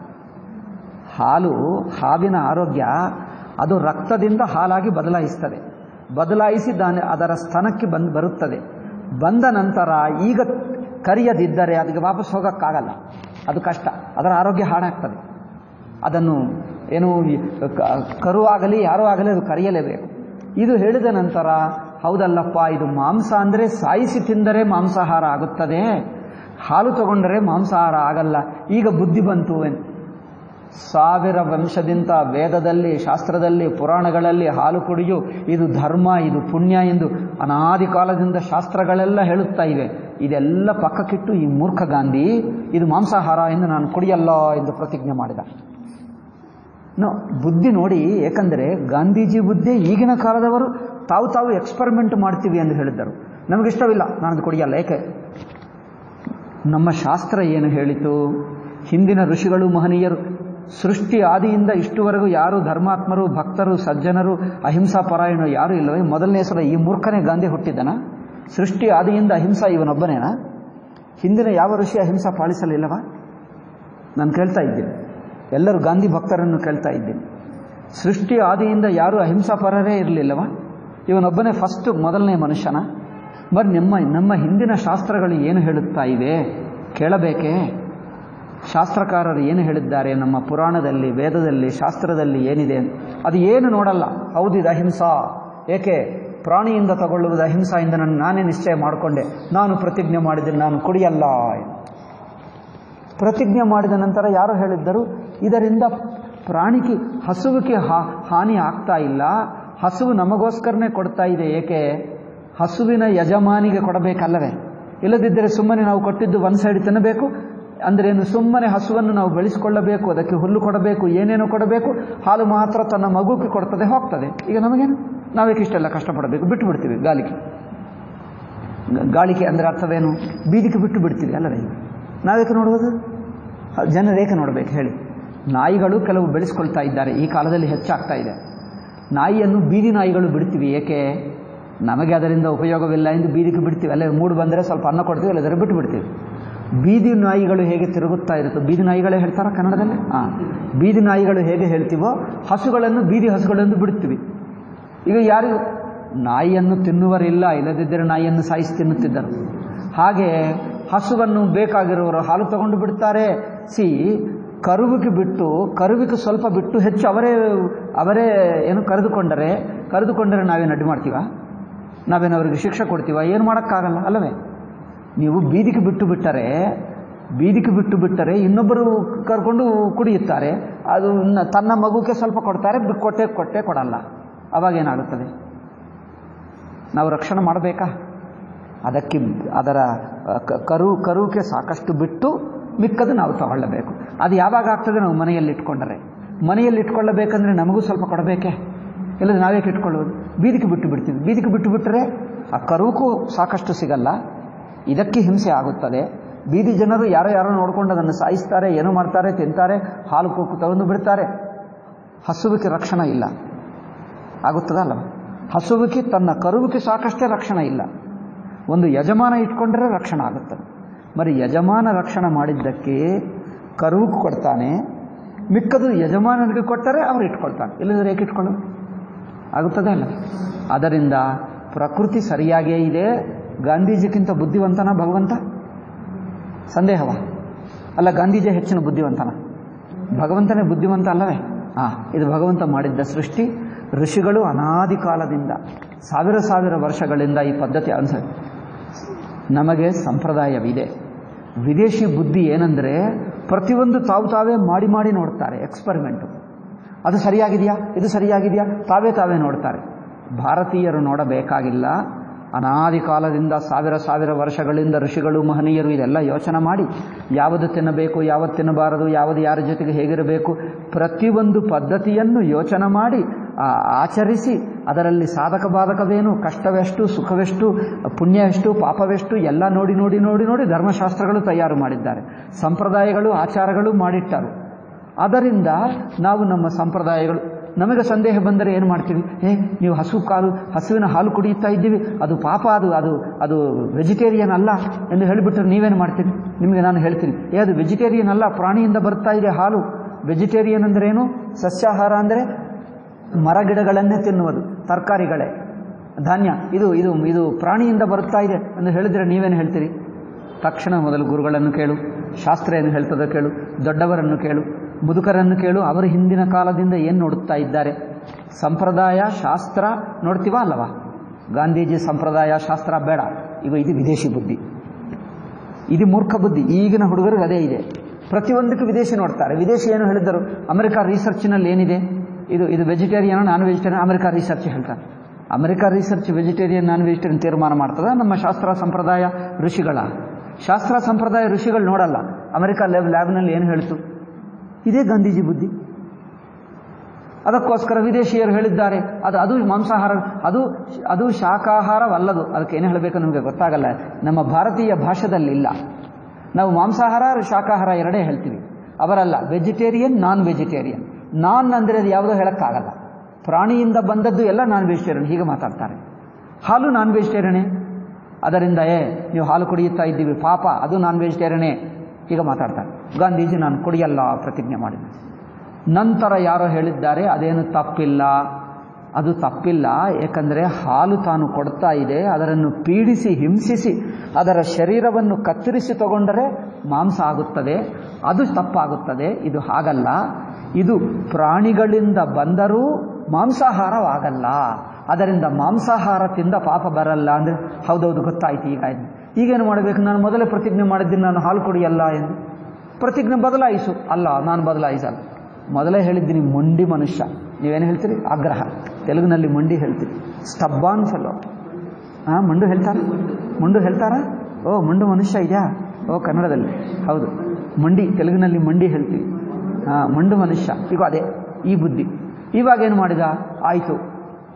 ಕುತರ್ಕ ಮಾಡಿದ್ರಲ್ಲಿ ಏನೋ ಗೊತ್ತಾ? ನಾನು ಹಾಲನ್ನು ಕುಡಿಯಲ್ಲ ಎಂದು ಮನಸ್ಸಿನಲ್ಲಿ ಯಾವಾಗ ಪ್ರತಿಜ್ಞೆ ಮಾಡಿದ್ದೀನೋ ಪ್ರತಿಜ್ಞೆ ಮಾಡಿದಾಗ ನನ್ನ ಮನಸ್ಸಿನಲ್ಲಿ ಹಸುವಿನ ಹಾಲು ಎಮ್ಮೆಯ ಹಾಲು ಎರಡೇ ಇತ್ತು ದೃಷ್ಟಿಯಲ್ಲಿ. ಆ, ಮೇಕೆ ಹಾಲು ನನ್ನ ದೃಷ್ಟಿಯಲ್ಲಿ ಇರಲಿಲ್ಲವಲ್ಲ ಅದಕ್ಕಾಗಿ ನಾನು ಮೇಕೆ ಹಾಲು ಕುಡಿಯಬಹುದು ಎಂದು ತನ್ನಗೆ ತಾನು ಒಂದು ಕುತರ್ಕ ಮಾಡಿಕೊಂಡ. ಮಾಡಿಕೊಂಡು ಮೇಕೆ ಹಾಲು ಕುಡಿಯುತ್ತೀನಿ ನಾನು. ಕತ್ತೆ ಹಾಲು ಕುಡಿಯಬಹುದಿತ್ತು. ಏನಿವೆ? ಕುಡಿಯದಿದ್ದರೂ ಕುಡಿದಷ್ಟೇ ಇದೆ ಬುದ್ಧಿ ಮಾತ್ರ. ಕುಡಿಯದಿದ್ದರೂ ಕುಡಿದಷ್ಟೇ ಇದೆ ಬುದ್ಧಿ ಮಾತ್ರ. ಗೊತ್ತಾಯ್ತಾ? ಏನು ಮಾಡಿಕೊಂಡ? ನಾನು ಹಸುವಿನ ನಾನು ಮೇಕೆ ಹಾಲು ಕುಡಿಯಬಹುದು ಎಂದು. ಈಗ ಎಲ್ಲಿ ಹೋದರು ಗಾಂಧೀಜಿ ತಿರುಗುತ್ತಾ ಇದ್ದಾನೆ ಒಂದು ಕಡೆ ನಾವು, ಭಾರತ ದೇಶವೆಲ್ಲ ತಿರುಗಿದೆ. ಎಲ್ಲಿ ಹೋದರೂ ಅವರು ಬೆಳಗ್ಗೆ ಏಳುವ ತಕ್ಷಣಕ್ಕೆ ಒಂದು ಮೇಕೆ ರೆಡಿ ಇರುತ್ತಿತ್ತು. ಅಂದರೆ ಅದಕ್ಕೆ ಎಷ್ಟು ಖರ್ಚಾಗಬೇಕು? ಎಲ್ಲಿ ಹೋದರೂ ಒಂದು ಮೇಕೆ ರೈಲ್ನಲ್ಲಿ ಹೋಗಲಿ, ಎಲ್ಲಿ ಹೋಗಲಿ ಒಂದು ಮೇಕೆ ಆಲ್ವೇಸ್ ರೆಡಿ ಇರಬೇಕು, ಒಂದೋ ಎರಡೋ ಮೇಕೆಗಳು. ಎಷ್ಟು ಖರ್ಚಾಗ್ತದೆ? ಗಾಂಧೀಜಿ ಹೇಳ್ತಾನೆ, ಅಯ್ಯೋ, ತುಂಬ ಬಡವನಂತೆ, ಏನು ಖರ್ಚು ಮಾಡಲ್ಲ ಅಂತ. ಏನದು? ತುಂಬ ಸಿಂಪಲ್ ಬಟ್ಟೆ ಹಾಕ್ಕೊಳ್ತಾನಂತೆ. ಸರೋಜಿನಿ ನಾಯ್ಡು ಹೇಳಿದ್ದರು, ಗಾಂಧೀಜಿ ಬಡತನವನ್ನು ಮೇಂಟೈನ್ ಮಾಡಲಕ್ಕೆ ಧನಿಕನಿಗಿಂತ ಹೆಚ್ಚೇ ಹಣ ಬೇಕು ಎಂದು ಹೇಳಿದ್ದಾರೆ. ಗಾಂಧೀಜಿ ಬಡತನ ಆಗಿದೆ, ಎಲ್ಲ ವೇಷ. ಈ ಬಡತನ ವೇಷದಿಂದ ಈ ಬಡತನಕ್ಕೆ ಖರ್ಚು ಹೆಚ್ಚೇ ಆಗುತ್ತದೆ. ಸಾಮಾನ್ಯ ಬಡತನಕ್ಕಿಂತ ಎಲ್ಲಿ ಯಾವುದು ನಮ್ಮ ಶಾಸ್ತ್ರ ಏನು ಹೇಳುತ್ತದೆ? ಎಲ್ಲಿ ಯಾವುದು ಸಿಕ್ಕುತ್ತದೋ ಸುಲಭವಾಗಿ ಹೆಚ್ಚು ಖರ್ಚಿಲ್ಲದೆ ಅದು ತಗೋ ಎಂದು ಹೇಳಿ, ಅಲ್ಲ ನಾನು ಇದೇ ಮಾಡ್ತೀನಿ ನಾನು ಇದೇ ಮಾಡಲ್ಲ. ಈಗ ನಾನು ಇದು ಕುಡಿಯಲ್ಲ, ಮೇಕೆ ಹಾಲೇ ಬೇಕು. ಈಗ ಮೇಕೆ ಎಲ್ಲಿ ಹೋದರೂ ಮೇಕೆ ಎಲ್ಲ ಕಡೆ ಸಿಗ್ತದೆ. ಹಸುವಿನದು ಎಮ್ಮೆದು ಎಲ್ಲ ಕಡೆ ಸಿಗ್ತದೆ. ಅವ್ರು ತಾನೇ ತಂದು ಕೊಡ್ತಾರೆ. ಈಗ ನಿಮಗೆ ಸ್ಪೆಷಲ್ ಮೇಕೆ ಬೇಕು ಅಂದ್ರೆ ಗಂಧಿಗೋಸ್, ಎಲ್ಲರಿಗೋಸ್ಕರ. ಆ ಎಮ್ಮೆ ಹಾಲು ಮೇಸೆ, ಎಮ್ಮೆ ಹಾಲು, ಕಾಫಿ, ಟೀ ಬರುತ್ತದಲ್ಲ ಎಲ್ಲರಿಗೋಸ್ಕರ. ಎಲ್ಲರಿಗೋಸ್ಕರ, ಟೀಗೋಸ್ಕರ ಹಾಲು ಬಂದೇ ಬರುತ್ತವೆ. ಎಲ್ಲ ಕಡೆ ಸಿಗ್ತದೆ. ಯಾವ, ಯಾರ ಮನೆಯಲ್ಲಿರಲಿ ಅಲ್ಲೇ ಇರುತ್ತವೆ. ಹಸುವೋ, ಮೇಕೆನೋ ಮೇಕೆ ಅಲ್ಲ, ಹಸುವೋ ಎಮ್ಮೆ. ಎಮ್ಮೆನೋ ಯಾರೋ ಮನೆಯಲ್ಲಿ ಇರುತ್ತದೆ ಅವರು ಏನು ಹೊಸದು ಮಾಡಬೇಕಾಗಿಲ್ಲ. ಗಾಂಧೀಜಿ ನಿಮ್ಮ ಮನೆಯಲ್ಲಿ ಅತಿಥಿಯಾಗಿದ್ದರೆ ಅವರೇ ಅಲ್ಲಿ ಹಾಲು ಇರ್ತದೆ ಕೊಡ್ತೀವಿ. ಅಲ್ಲ, ಗಾಂಧೀಜಿ ಹಾಲು ಕುಡಿಯಲ್ಲ. ಇವರಿಗೋಸ್ಕರ ಒಂದು ದಿವಸ, ಎರಡು ದಿವಸ ಮುಂಚೆ ಹೇಳಬೇಕು, ಈ ಊರಿನಲ್ಲಿ ಯಾರಾದರೂ ಮೇಕೆ ಇದ್ದಾರಾ? ಬೆಳಗ್ಗೆ ತಂದು ಕೊಡ್ತಾನಾ? ನಮ್ಮ ಎದುರಾಗಿ ಹಾಲು ಅವ್ರು ಹೇಳ್ತಾನೆ, ಓ, ಆಗಲ್ಲ, ನಾವು ಬೆಳಗ್ಗೆ ಬೇರೆ ಕೆಲಸ ಬಾಪ ಒಂದು ಸಲ ನಿಮ್ಗೆ ಇಷ್ಟು ಹಣ ಕೊಡ್ತೀವಿ. ಅವರಿಗೆ ಹಣ ಕೊಟ್ಟು ಇವರು ಏಳುವ ತಕ್ಕ ಬೆಳಗ್ಗೆ ಏಳುವ ಸಮಯಕ್ಕೆ ಮೇಕೆ ಬಂದು ಮನೆಯಲ್ಲಿ ರೆಡಿ ಇರಬೇಕು. ಇವರಿಗೋಸ್ಕರ ಅದನ್ನು ಕರೆದು ಕೊಡಬೇಕು. ಈ ಆಗ್ರಹ ಬೇಕೇ? ಆಯ್ತಪ್ಪ ಆವಾಗ ನಾನೇ ತಪ್ಪಾರ್ಥ ಮಾಡಿಕೊಂಡೆ, ಈಗ ಬಿಡ್ತೀನಿ ಕುಡಿಯುತ್ತೀನಿ ಅಂದರೆ ಮುಗಿಯುತ್ತದೆ. ಅಲ್ಲ, ನಾನು ಆವಾಗ ಪ್ರತಿಜ್ಞೆ ಮಾಡಿದ್ದೀನಲ್ಲ, ನಾನು ಕುಡಿಯಲ್ಲ. ಹುಚ್ಚ ಇರುತ್ತಾನೆ, ಬುದ್ಧಿವಂತ ಯಾರು ಹೀಗೆ ಇರಲ್ಲ. ಅಲ್ಲವೇ? ಮೊದಲೇ ಮೊದಲೇ ಇದು ಶಾಖಾಹಾರವಾ, ಅಲ್ಲವಾ ಎನ್ನುವುದಕ್ಕೆ ನಾವೇ, ನಿಮ್ಗೆ ಯಾರೋ ಹೇಳ್ತಾರೆ ನೋಡಿ ಹಾಲು ಕುಡಿತಾ ಇದ್ದೀರಿ, ಅದು ಮಾಂಸಾಹಾರ ತಿಂದ ಸಮಾನ. ಅದು ರಕ್ತವೇ. ಏನಪ್ಪ? ಹಾಲು ಕುಡಿದರೆ ರಕ್ತ ಕುಡಿದ ಸಮಾನವಾ? ನೀವು ರಕ್ತ ಕುಡಿದ ಸಮಾನ, ಅದು ಅದು ಮಾಂಸಾಹಾರ ಸಮಾನವೇ? ಈ ಕಾಲದ ಕುತರ್ಕ ನೋಡಿ. ನಿಮಗೆ ಕುತರ್ಕ ಅನಿಸುತ್ತದೆ? ಸರಿಯಾದ ತರ್ಕ ಅನಿಸುತ್ತದೆ. ಹಾಲು ಕುಡಿದರೆ ರಕ್ತ ಸಮಾನ, ಅದು ರಕ್ತವೇ ಹಾಲಾಯಿತು. ನಾನು ಹೇಳ್ತೀನಿ, ನೀವು ತರಕಾರಿ ತಿಂದರೆ ಮಣ್ಣು ತಿಂದ ಸಮಾನ, ಏಕೆ ಮಣ್ಣೇ ತರಕಾರಿ ಆಗುತ್ತದೆ? ಇದು ಏನಪ್ಪ, ಈ ತರ್ಕ, ಈ ತರ್ಕಕ್ಕೆ ಅರ್ಥ ಇದೆ? ನೋಡಿ ಎಷ್ಟು ಕುತರ್ಕ ಮಾಡ್ತಾರೆ. ನೋಡಿ, ನೀವು ತರಕಾರಿ ತಿಂದರೆ ಮಣ್ಣು ತಿಂದ ಸಮಾನ, ಏಕೆ ಮಣ್ಣಿನಿಂದಲೇ ತರಕಾರಿ ಆಗುತ್ತೆ? ಏನು ಅರ್ಥ ಇದೆ? ಇದು ಹೇಗೆ ಮಾತಾಡ್ತಾರೆ? ನೀವು ಹಾಲು ಕುಡಿದರೆ ರಕ್ತ ಕುಡಿದ ಸಮಾನ, ಅದರಿಂದ ಅದು ಮಾಂಸಾಹಾರವೇ. ಅದನ್ನು ಶರೀರವನ್ನು ಏನು ಹೇಳ್ತಾರೆ? ಕತ್ತರಿಸೋದ ಕೊಯ್ಯುವುದ, ಏನು ಹೇಳ್ತಾರೆ? ಹಾಂ, ಕತ್ತರಿಸಿ ಕುಡಿದರೆ ಆವಾಗ ರಕ್ತ ಮಾಂಸ ಆಗುತ್ತದೆ. ಆ ರಕ್ತವು ನಿಜವೇ, ರಕ್ತವು ಹಾಲಾಯಿತು ಅಂದರೆ ರಕ್ತ ಎಲ್ಲಿಂದ ಬರುತ್ತದೆ? ಮಾಂಸದಿಂದ. ಅದೇ ಬರುತ್ತದೆ. ಅಂದರೆ, ಮರಿ ಹಾಗೆ ಹೇಳಿದರೆ ರಕ್ತವು ಎಲ್ಲಿಂದ ಬಂತು? ಹುಲ್ಲಿನಿಂದ ಬಂತಲ್ಲವೇ? ರಕ್ತವು ಹುಲ್ಲಿನಿಂದ ಬಂತು. ಅದರಿಂದ ಹುಲ್ಲು ತಿಂತಾನೆ ಅಂತ ಹೇಳ್ತೀವ ಏನು? ಆ ಕುತರ್ಕ ನೋಡಿ ಹೇಗೆ ಮಾತಾಡ್ತಾರೆ ಈ ಕಾಲದವರಿಗೆ ಇವರೇ ಬುದ್ಧಿವಂತರ ಅನಿಸುತ್ತದೆ ಯಾರು ನಾವು ನಾವು ನಮ್ಮ ಋಷಿಗಳು, ನಮ್ಮ ಶಾಸ್ತ್ರಗಳು ಯಾರು ಬುದ್ಧಿವಂತರಲ್ಲ. ಈ ಆಧುನಿಕ ಬುದ್ಧಿವಂತರಿಗೆ ಇವರೇ ಬುದ್ಧಿವಂತರು. ಫೇಸ್ಬುಕ್ನಲ್ಲಿ ನೋಡ್ತೀನಿ ಭಯಂಕರ ಮಾತುಗಳು ಇವ ಹೀಗೆ ಕುತರ್ಕ. ಆಧುನಿಕ ಹುಡುಗರಲ್ಲೇ ಬುದ್ಧಿ ಹಾಳು ಮಾಡ್ತಾ ಇದ್ದಾರೆ ಇದೇ ಬುದ್ಧಿ. ಆಧುನಿಕ ಯುವ ಪೀಳಿ, ಹುಡುಗರು, ಹುಡುಗಿ ಇಬ್ಬರು ಬುದ್ಧಿ ಹಾಳಾಗೋದು ಈ ಕುತರ್ಕ, ಈ ವಿತಂಡವಾದ. ವಿತಂಡವಾದನಿಂದಲೇ. ನಮ್ಮ ಸಾಂಪ್ರದಾಯಿಕ ಪಂಡಿತರು, ಮಠ, ಪೀಠ, ವಿದ್ವಾಂಸರು ಸುಮ್ಮನೆ ಕೂತಿದ್ದಾರೆ, ಏನು ಈ ಕುತರ್ಕಕ್ಕೆ ಜವಾಬು ಕೊಡು, ಉತ್ತರ ಕೊಡು, ಇವೆಲ್ಲ ವಿತಂಡವಾದ ಮಾಡ್ತಾ ಇದ್ದಾರೆ. ಈಗ ನಾನೇ ಹೇಳಬೇಕಾಗ್ತಾ ಇದೆ, ಸ್ವಲ್ಪ ಸ್ವಲ್ಪ ಹೇಳ್ತಾ ಇದ್ದೀನಿ ನೋಡಿ ನಾನು. ಅಂದರೆ ಇದು ಎಷ್ಟು ಮೂರ್ಖತನ ನೋಡಿ. ಹಸುವು, ನಾನು ಹೇಳಿದ್ದೆ ನೋಡಿ, ಹಸುವು ಹಾಲು ಎಷ್ಟು ಹಾಲು ತಯಾರು ಮಾಡಿಕೊಳ್ತದೋ ತನ್ನ ಮಗುವಿಗೆ ಸಾಕಷ್ಟು ಅಲ್ಲ ಸ್ವಲ್ಪ ಹೆಚ್ಚು ಇದ್ದೇ ಇರುತ್ತದೆ. ಆ ಹೆಚ್ಚು ಅದು ಕರಿಯದಿದ್ದರೆ ಅದಕ್ಕೆ ಹಾನಿ. ಇನ್ನೊಂದು ಯಜಮಾನನಿಗೆ ಕೊಡಬೇಕು. ಏಕೆಂದರೆ ಯಜಮಾನ ನಮ್ಮನ್ನು ನೋಡ್ಕೊಳ್ತಾ ಇದ್ದಾನೆ. ಆದ್ದರಿಂದ ಆ ಹಾಲು ಕುರಿದು ಕರೆದರೆ ನಿಮಗೆ ಪಾಪವಿಲ್ಲ, ನಿಮಗೆ ಒಳ್ಳೆಯದೇ ಪುಣ್ಯವೇ. ಶಾಸ್ತ್ರ ಎಲ್ಲ ನೋಡಿ, ಹಿಂದೆ ಮುಂದೆ ಎಲ್ಲ ಕಡೆ ನೋಡಿಂದ ನೋಡಿ ಯೋಚನೆ ಮಾಡಿ ಹೇಳಿದ್ದರು ಋಷಿಗಳು. ಇದೆಲ್ಲ ಬೇಡ ಅಂತೆ. ಹಸುವಿನಿಂದ ಬರುತ್ತದೆ, ಅದರಿಂದ ಮಾಂಸಾಹಾರ. ನಾನು ಕುಡಿಯಲ್ಲ. ನಾನು ಪ್ರತಿಜ್ಞೆ ಮಾಡಿಬಿಟ್ಟೆ. ಗಾಂಧೀಜಿ, ಅಪ್ಪ, ಗಾಂಧೀಜಿ ದೊಡ್ಡ ಪ್ರತಿಜ್ಞಾವಂತ ಅಂದೆ ಸತ್ಯವಂತ, ಆಧ್ಯಾತ್ಮಿಕ ಸಾಧಕ, ಮಹನೀಯ ಅಂತೆ, ಮಹಾತ್ಮ ಅಂತೆ. ಇದು ಆಧ್ಯಾತ್ಮಿಕ ಸಾಧನನಾ? ಈ ಮೂರ್ಖತನಕ್ಕೆ ಸಾಧನ ಎಂದು ಯಾರಾದರೂ ಹೇಳ್ತಾರಾ? ಮರಿ ಇದು ಸಾಧನ ಆದರೆ ಮೂರ್ಖತನ ಅಂದರೆ ಹೇಗಿರುತ್ತದೆ ಹೇಳಿ? ಮೂರ್ಖರು ಹೇಗೆ ಹೇಳ್ತಾರೆ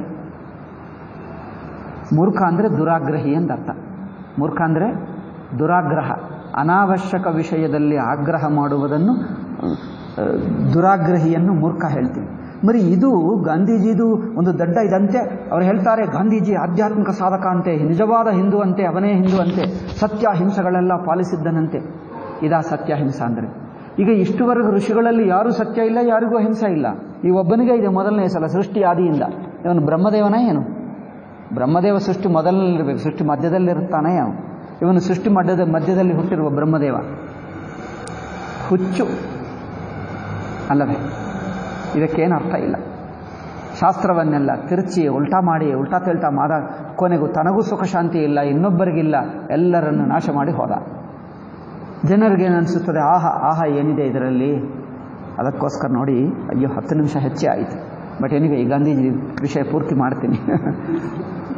ಈ ಅದಕ್ಕೋಸ್ಕರ ಹೇಳಿದ್ದೀನಲ್ಲ, ಈ ನಾಲ್ಕು ಶ್ಲೋಕಗಳು ಶ್ರೀಕೃಷ್ಣನದು ಸರಿಯಾಗಿ ನೋಡಬೇಕು. ಯಾಕಂದರೆ ಇದು ನಮಗೆ ತುಂಬ ಹಾನಿ ಮಾಡ್ತಾ ಇದೆ.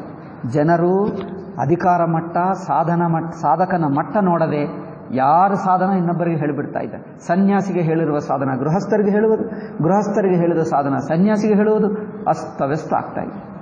ಯಾರ್ದು ಯಾರು ಎನ್ನುವುದು ಧರ್ಮವೇ ಇಲ್ಲ. ಗೃಹಸ್ಥರಿಗೆ ಆಸ್ತಿ ಸಂಪಾದನಾ, ಆಸ್ತಿ ಇಟ್ಕೊಳ್ಳುವುದು ಕಳ್ಳರಿಂದ ರಕ್ಷಿಸಿಕೊಳ್ಳುವುದು, ಕಳ್ಳ ಬಂದರೆ ಹೊಡೆಯು, ಅದೇ ನಿಮಗೆ ಪುಣ್ಯ. ಕಳ್ಳ ಬಂದರೆ ಹೊಡೆಯು, ಅದೇ ಪುಣ್ಯ. ಅಯ್ಯೋದು ಪಾಪ ಅಂದರೆ ಆ ಮೂರ್ಖ ಗಾಂಧೀಜಿ ಬಿಡು, ಅವ್ರಿಗೇನಿದೆ? ಅವ್ರಿಗೆ ಬೇಕಾಗಿರುವಾಗ ರೆಡಿಮೇಡು ಮೇಕ ಹಾಲು ಸಿಗ್ತದೆ, ಸಾಕು. ಅವ್ರಿಗೇನು? ಅವ್ರಿಗೇನು ಜವಾಬ್ದಾರಿ ಇಲ್ಲವಲ್ಲ? ಬೇಕಾಗಿರುವಾಗ ಅವ್ರು ರೆಡಿಮೇಡ್ ತಂದು ಕೊಡ್ತಾರೆ. ನಿಮಗೆ ಯಾರೂ ಇಲ್ಲ ನೋಡುವುದಕ್ಕೆ. ನಿಮ್ಮ ಹಾಲು ನೀವು ನೋಡ್ಕೊಳ್ಳಬೇಕು. ಗಾಂಧೀಜಿಗೆ ಹಾಲು ಕೊಡಬಾರದಿತ್ತು. ಆವಾಗ ಗೊತ್ತಾಗ್ತದೆ. ಅಲ್ಲವೇ? ಆ ಹಾಲು ಇಲ್ಲ, ಊಟ ಇಲ್ಲ. ಯಾರು ಹೇಳ್ತಾರೋ, ಕಳ್ಳ ಮನೆಗೆ ಬಂದು, ಮನೆಗೆ, ಮನೆ, ಮನೆಯಲ್ಲಿ ಬಿದ್ದು ಬೀಳುವುದು ಹೇಳ್ತಾರ? ಕಳ್ಳ ಬೀಳುವುದು ಹೇಳ್ತಾರ? ಹಾಂ. ಕಳ್ಳ ಬಿದ್ದು ಇವರು ಮನೆಯಲ್ಲಿ ಕಳ್ಳತನ ಮಾಡಿ ಇದ್ದಾಗ ಇವರು ಹೇಳಿದ್ದಾರೆ, ನೀವು ಯಾರನ್ನು ಹೊಡೆಯಬಾರದು, ಅಹಿಂಸಾ ಎಂದು ಹೇಳಿದ್ದೀರಲ್ಲ, ಮರಿ ಕಳ್ಳೆ ಬಂದಾಗ ನಾನು ಅವರನ್ನು ಹೊಡೆಯಬಾರದ, ಹಿಂಸಿ, ಅವರನ್ನು ಹೆದರಿಸಿ ನನ್ನ ವಸ್ತು ನಾನು ವಾಪಸ್ ಇಟ್ಕೊಳ್ಳಬೇಕೆ? ಗಾಂಧೀಜಿ ಏನು ಧರ್ಮ ನಿರ್ಣಯ ಮಾಡಿದ್ದನೋ ಗೊತ್ತಾ? ಧರ್ಮರಾಜ. ಆ ಯಮಧರ್ಮರಾಜ ಪ, ಗಾಂಧೀಜಿಯನ್ನೇ ಕೇಳಬೇಕು. ಗಾಂಧೀಜಿ ಮಾತು ಕೇಳಿ ಯಮಧರ್ಮರಾಜ ಧರ್ಮ ಪಾಲಿಸಿದ್ದರೆ ಏನಾಗುತ್ತದೆ? ಇಡೀ ಪ್ರಪಂಚ ಹುಚ್ಚಾಗಿ ಬಿಡ್ತದೆ. ಸೃಷ್ಟಿ ಹುಚ್ಚಾಗಿ ಬಿಡ್ತದೆ. ಈ ಧರ್ಮದೇವತ ಇದ್ದಾನೆ ನೋಡಿ, ನಮ್ಮ ಮೂರ್ಖ ದೇವತ? ಈ ಮೂರ್ಖ ದೇವತ ಏನು ಮಾಡಿದ? ನಿನ್ನದೇ ತಪ್ಪು ಎಂದು ಹೇಳಿದ. ಆಹಾ, ನಿನಗೆ ಮಾತ್ರ ಹಾಲು ಸಿಗ್ತಾ ಇದೆ ಎರಡು ಸಲ, ಊಟ ಸಿಗ್ತಾ ಇದೆ, ಬೇಕಾಗಿರುವ ನಿಮಗೆ. ಎಲ್ಲಿ ಹೋಗಬೇಕಾದರೆ ಕಾರ್ನಲ್ಲಿ ಬ, ರೈಲ್ನಲ್ಲಿ, ಬಸ್ಸಿನಲ್ಲಿ ನಿನಗೆ ಕಂಫರ್ಟೇಬಲ್ ಆಗಿ ಕರ್ಕೊಂಡು ಹೋಗ್ತಾರೆ. ಈಗ ನಮಗೆ ಮಾತ್ರ ಉಪದೇಶ ಇದೆಲ್ಲ ಅಹಿಂಸಾ ಉಪದೇಶ ಚೆನ್ನಾಗಿದೆ, ನಾನು ಮಾಡ್ತೀನಿ ಈ ತರಹ ಉಪದೇಶ. ನೋಡಿ, ಆ ಬುದ್ಧಿ ನೋಡಿ. ತನಗೆ ಮಾತ್ರ ಎಲ್ಲ ರೆಡಿಮೇಡ್ ಸಿಗ್ತದಲ್ಲ, ಅವ್ರು ನೋಡ್ಕೊಳ್ತಾರೆ. ಆ ಮೇಕಕ್ಕೆ ಏನು ತೊಂದರೆ ಆಗ್ತದೋ? ಬರೀ ಮೇಕಕ್ಕೆ ತೊಂದರೆ ಆಗಲ್ಲವಾ? ಮೇಕೆ ಹಾಲು ಮನುಷ್ಯರು ಕುಡಿಯುವುದಕ್ಕೆ ಎಂದು ಮೇಕೆ ಹಾಲು ಮಾಡಿದ್ದಾರ? ಶಾಸ್ತ್ರದಲ್ಲಿ ಎಲ್ಲಿ ಇಲ್ಲ. ಮೇಕೆ ಮೇಕೆ, ಮೇಕೆಗೆ ನೋಡಿ ಎರಡು ಮೂರ ಏನು ಹೇಳ್ತಾರೆ? ಮೇಕೆಗಳು. ನೋನು ಎರಡು ಸಮಟೈಮ್ಸ್ ಮೂರು ಇರುತ್ತವೆ. ನೋನು ಮಕ್ಕಳು ಮಕ್ಕಳು. ಹಾಂ ಮೂರು ನಾಲ್ಕು ಮಕ್ಕಳನ್ನು ಏನು ಹೇಳಿ, ಮೇ- ಮೇಕೆ ಮಕ್ಕಳಿಗೆ ಏನು ಹೇಳ್ತಾರೆ? ಮರಿ. ಹಾಂ ಓಕೆ ಸೊ ಮೇಕೆ ಮರಿಗಳು ಮೂರು ನಾಲ್ಕು ಇರುತ್ತವೆ. ಅದರಿಂದ ಮೇಕೆ ಹಾಲು ಕುಡಿಯುವುದಷ್ಟಲ್ಲ ಏಕೆಂದರೆ ಅದೆಲ್ಲ ಕುಡಿಯುತ್ತವೆ? ಹಸುವಿಕೆ ಅಷ್ಟಲ್ಲ, ತನಗೆ ಬೇಕಾಗಿರುವಕ್ಕಿಂತ ಹೆಚ್ಚಾಗ್ತದೆ. ಅದರಿಂದ ಮೇಕೆ ಹಾಲು ಕುಡಿದರೆ ಅಹಿಂಸಾ ಅಂತೆ, ಈ ಹಾಲು ಕುಡಿದರೆ ಹಿಂಸಾ ಅಂತೆ, ಅದಕ್ಕೆ ಪ್ರತಿಜ್ಞೆ ಮಾಡಿದ್ದಾನೆ.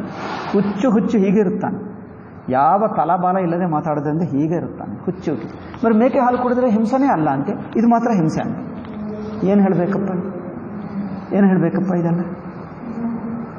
ಮೇಕೆಗೆ ಮೂರ್ನಾಲ್ಕು ಇರುತ್ತವೆ. ಅದಕ್ಕೆ ಕಷ್ಟ. ಅದಕ್ಕೋಸ್ಕರ ಮೇಕೆ ಹಾಲು ಕುಡಿಯುವುದೆಂದು ಸಾಮಾನ್ಯವಾಗಿ ನಮ್ಮ ಶಾಸ್ತ್ರದಲ್ಲಿ ಪೂಜಕಿ, ಅಭಿಷೇಕಕ್ಕೆ, ಔಷಧಕ್ಕೆ ಬಳಸಲ್ಲ.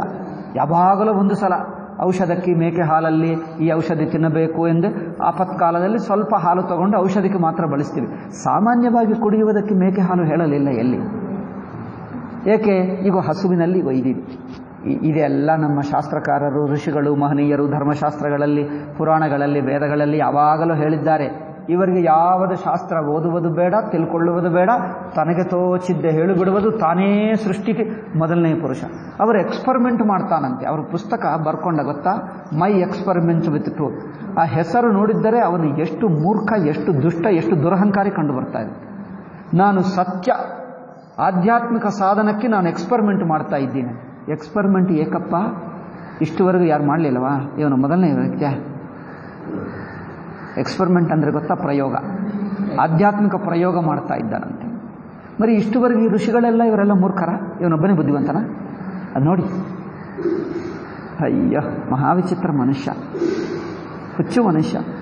ಇದೆಲ್ಲ ಏಕೆ ಹೇಳಬೇಕೆಂದರೆ ನಾವು ಹಾಗೆ ಆಗಬಾರದು, ಅದೊಂದೇ ತಾತ್ಪರ್ಯ. ಅವರನ್ನು ಬೈಯುವುದು ಬೇಡ, ಅವರು ಮಾಡಿದ್ದೇನೋ ಮಾಡಿದ, ನಮ್ಮ ಜನರು ಸತ್ತು ಹೋದರೂ ನಾ, ಆಗಿದ್ದೆಲ್ಲ ಸರ್ವನಾಶನ ಆಗೇ ಬಿಟ್ಟಿತ್ತು. ಈಗ ಬೈದರೂ ಪ್ರಯೋಜನವಿಲ್ಲ, ಈಗ ಬೇಡ.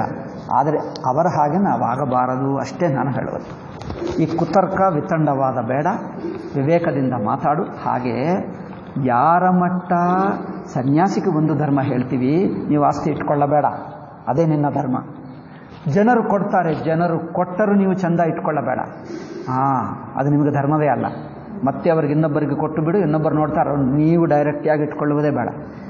ಅದು ಅವರವರಿಗೆ ಧರ್ಮ ಹೊಂದುತ್ತದೆ. ನೀವು ಸನ್ಯಾಸಿ ಧರ್ಮವನ್ನು ಗೃಹಸ್ಥರಿಗೆ ಹೇಳಿಬಿಟ್ರೆ? ಅದರಿಂದ ಇಲ್ಲಿ ಸಾಮಾನ್ಯ ಜನರು, ಸಮಾಜದಲ್ಲಿರುವವರು, ಸನ್ಯಾಸಿ ಇನ್ನೊಬ್ಬ ಸನ್ಯಾಸಿಗೆ ಧರ್ಮ ಹೇಳಬಹುದು, ಇನ್ನೊಬ್ಬರು ನನಗೆ ಅನ್ಯಾಯ ಮಾಡಿದ್ದರೂ ನಾನು ಅವರಿಗೆ ಹಿಂಸೆ ಮಾಡಲ್ಲ. ಅದು ಹೊಂದುತ್ತದೆ. ಗೃಹಸ್ಥರಿಗೆ ಅವರು ನನ್ನನ್ನು ಆಧರಿಸಿದ್ದರೆ ನಾನು ಆಧರಿಸ್ತೀನಿ. ನನಗೆ ಅನ್ಯಾಯ ಮಾಡಿದ್ದರೆ ನಾನು ಆಧಾರದಿಂದ ನೋಡಲ್ಲ. ಇದು ಗೃಹಸ್ಥನಿಗೆ ಧರ್ಮ, ಇದು ಒಳ್ಳೆಯದು. ರಾಜಧರ್ಮವೂ ಅದೇ. ಇನ್ನೊಬ್ಬರು ಬಂದು ನಮ್ಮ ದೇಶಕ್ಕೆ ಅನ್ಯಾಯ ಮಾಡ್ತಾರೆ. ಆದರೂ ನಾವೇನು ಮಾಡಬಾರದು ಅಂದರೆ? ಇದು ರಾಜಧರ್ಮನ, ಇದು ಸಾಮಾನ್ಯ ಧರ್ಮನ. ಇಲ್ಲಿ ಶ್ರೀಕೃಷ್ಣರು ಹೇಳಿದ್ದು, ನಮ್ಮನ್ನು ಪ್ರೇಮಿಸಿರುವವರನ್ನೇ ಪ್ರೇಮಿಸಿದ್ದರೆ ಇದು ಸ್ವಾರ್ಥ, ಇದರಲ್ಲಿ ಧರ್ಮ ಇಲ್ಲ ಎಂದು ಹೇಳಿದ. ಅಂದರೆ ಇದು ಲೌಕಿಕರಿಗೆ ಧರ್ಮವೇ, ಇದು ಆಧ್ಯಾತ್ಮಿಕ ಧರ್ಮವಲ್ಲ. ಇನ್ನು ಮೇಲೆ ಮಟ್ಟದ ಭಕ್ತಿ ಮಟ್ಟಕ್ಕೆ ಹೋದಾಗ ಆ ಮಟ್ಟ ಅಲ್ಲ ಎಂದು ಹೇಳಿದ್ದರೆ ಹೊರತು ಧರ್ಮವಲ್ಲ ಎಂದಲ್ಲ. ಏಕೆಂದರೆ ಈ ಮಾತು ನೋಡಿಕೊಂಡ್ರೆ ಗಾಂಧೀಜಿ ಕರೆಕ್ಟ್ ಆಗ್ತಾನೆ. ಅದಕ್ಕೋಸ್ಕರ ನಾನು ಇಷ್ಟೆಲ್ಲ ಹೇಳಬೇಕಾಯಿತು. ಈಗ ಅರ್ಥವಾಯ್ತಾ? ಅವರ ಶ್ರೀಕೃಷ್ಣ ಹೇಳಿದ್ದು ಒಂದು ಮೇಲೆ ಮಟ್ಟವನ್ನು ಇಟ್ಕೊಂಡು ಹೇಳಿದ. ನಿಮಗೆ ನಾಳೆಯ ಮುಂದೆ ನಾಳೆಯ ಇನ್ನು ಎರಡು ಮೂರು ಶ್ಲೋಕಗಳು ಹೇಳಿದ ನಂತರ ಹೋಲಿಸಿಕೊಂಡ್ರೆ ಗೊತ್ತಾಗ್ತದೆ ಅವರು ಏಕೆ ಹೇಳ್ತಾ ಇದ್ದಾರೆ ಅಂತ. ಪರಸ್ಪರವೂ ಬೇಕೆ. ಪರಸ್ಪರವೂ ನಿಜವಾಗಿ ನೋಡಿದ್ದರೆ ಅವರು ನಮ್ಮನ್ನು ಆಧರಿಸಿದ್ದರೆ ನಾವು ಆಧರಿಸುವುದೇ ಅದೇ ನಿಜವಾದ ಧರ್ಮ. ಅದೂ ಧರ್ಮವೇ. ಅದರಲ್ಲಿ ಧರ್ಮವಿಲ್ಲ ಹೇಳ್ತಾ ಇದ್ದಾರೆ. ಅಲ್ಲ, ಅದರಲ್ಲಿಯೂ ಇದೆ. ಅದರಲ್ಲಿ ಸಕಾಮ ಧರ್ಮ ಇದೆ ಇಷ್ಟು ಹೇಳಿ. ಸಕಾಮ ಧರ್ಮ ಇದೆ. ಹಾಂ ನಮ್ಮನ್ನು ಹಿಂಸೆ ಮಾಡಿದ್ದರೂ ನಾವು ಅವರನ್ನು ಕ್ಷಮಿಸಿ ಮಾಡಿ ಉಪಕಾರ ಮಾಡುವುದು, ಅದಿನ್ನೂ ಸನ್ಯಾಸಿ ಧರ್ಮ. ತ್ಯಾಗಿಗಳ ಧರ್ಮ, ಆಧ್ಯಾತ್ಮಿಕ ಸಾಧಕರ ಧರ್ಮ, ಸನ್ಯಾಸಿಗಳೇ ಅಲ್ಲ, ಗೃಹಸ್ಥರೇ ಆಗಲಿ, ಅದು ಆಧ್ಯಾತ್ಮಿಕ ಸಾಧನದ ಧರ್ಮ. ಹರಿಶ್ಚಂದ್ರನ ಧರ್ಮ, ಸಿ, ಹರಿಶ್ಚಂದ್ರ ತನ್ನ ರಾಜ್ಯವನ್ನು ತನ್ನನ್ನು ಮಾರುಕೊಂಡಾದರೂ ಸಾಲ ತೀರಿಸಿದ ಅಂದರೆ, ನೀವು ಹಾಗೆ ಸಾಲ ತೀರಿಸಬೇಕು, ಅದೇ ಧರ್ಮ, ಹರಿಶ್ಚಂದ್ರನ ಹಾಗೆ ಎಲ್ಲರಾಗಬೇಕು ಅಂದರೆ, ನಿಮಗೆ ನೋಡಿ ಸಾಲ ತೀರಿಸ್ತೀನಿ ಅಂದ್ಕೊಂಡರು. ಆಸ್ತಿ ಹೋಯಿತು. ಈಗ ನೀವು ತೀರಿಸಲೇಬೇಕಂದ್ರೆ ಏನಿಲ್ಲಪ್ಪ, ಸ್ವಲ್ಪನೇ ಇದೆ, ಇದೇ ಮಾರಿಬಿಟ್ರೆ ಆಗಲ್ಲ. ಅದಕ್ಕೆ ಏನು ಹೇಳ್ತಾರೆ? ದಿವಾಲ ಎಂದು ಹೇಳಿಬಿಡ್ತಾನೆ, ನೀವು ಸಾಲ ತೀರಿಸಬೇಕಾಗಿಲ್ಲ. ಇವರೇನು ಹೇಳ್ತಾರೆ? ಅಲ್ಲ, ನಿನ್ನನ್ನು ಮಾರ್ಕೊಂಡಾದರೂ ನಾವು ಕೊಡಬೇಕಂದ್ರೆ ಇದು ಅಧರ್ಮ ಆಗಿಬಿಡ್ತದೆ. ಹರಿಶ್ಚಂದ್ರ ಮಾಡಿದನಪ್ಪ ಅಂದರೆ ಹರಿಶ್ಚಂದ್ರ ಮಾಡಿದ್ದು ಸ್ಪೆಷಲ್ ಕೇಸ್ ಅದು ಸಾಮಾನ್ಯ ಧರ್ಮ ಅಲ್ಲ. ಇವರಿಗೆ ಆಸ್ತಿ ಇರುವವರೆಗೆ ಸಾಲ ತೀರಿಸುವುದು. ಆಸ್ತಿ ಪೂರ್ತಿಯಾಗಿ ಹೋಗಿಬಿಟ್ಟರೆ ಈಗ ಸಾಲ ತೀರಿಸುವ ಪ್ರಸಕ್ತಿ ಇಲ್ಲ. ಅದು ತನ್ನನ್ನೇ ಮಾರ್ಕೊಂಡು ಬಿಟ್ಟರೆ ಅದು ಅಧರ್ಮ ಆಗುತ್ತದೆ. ಹಾಂ ಅದನ್ನು ನೋಡಿ ಹೇಳಬೇಕು. ವ್ಯಕ್ತಿಗೆ ಅನುಗುಣವಾಗಿ. ಅದು ಹರಿಶ್ಚಂದ್ರ ಸ್ಪೆಷಲ್ ಧರ್ಮ ಆಗಿ ತಾನು ತಾನೇ ಇಟ್ಕೊಂಡ. ಹರಿಶ್ಚಂದ್ರ ಹೇಳಬಹುದಿತ್ತು, ಆಸ್ತಿ ಇರುವವರೆಗೂ ನಿನ್ನ ಸಾಲ ತೀರಿಸುವುದು, ನನ್ನ ರಾಜ್ಯ ಕಳ್ಕೊಂಡೆ, ಎಲ್ಲ ಕಳ್ಕೊಂಡೆ. ಈಗ ನನಗೇನು? ಸಿ, ಹರಿಶ್ಚಂದ್ರ ದಾನ ಮಾಡ್ತೀನಿ ಎಂಬುದು ರಾಜನಿರುವಾಗ ಅಲ್ಲವೇ? ಅಯ್ಯೋ ಟೈಮೇ ಆಯಿತು.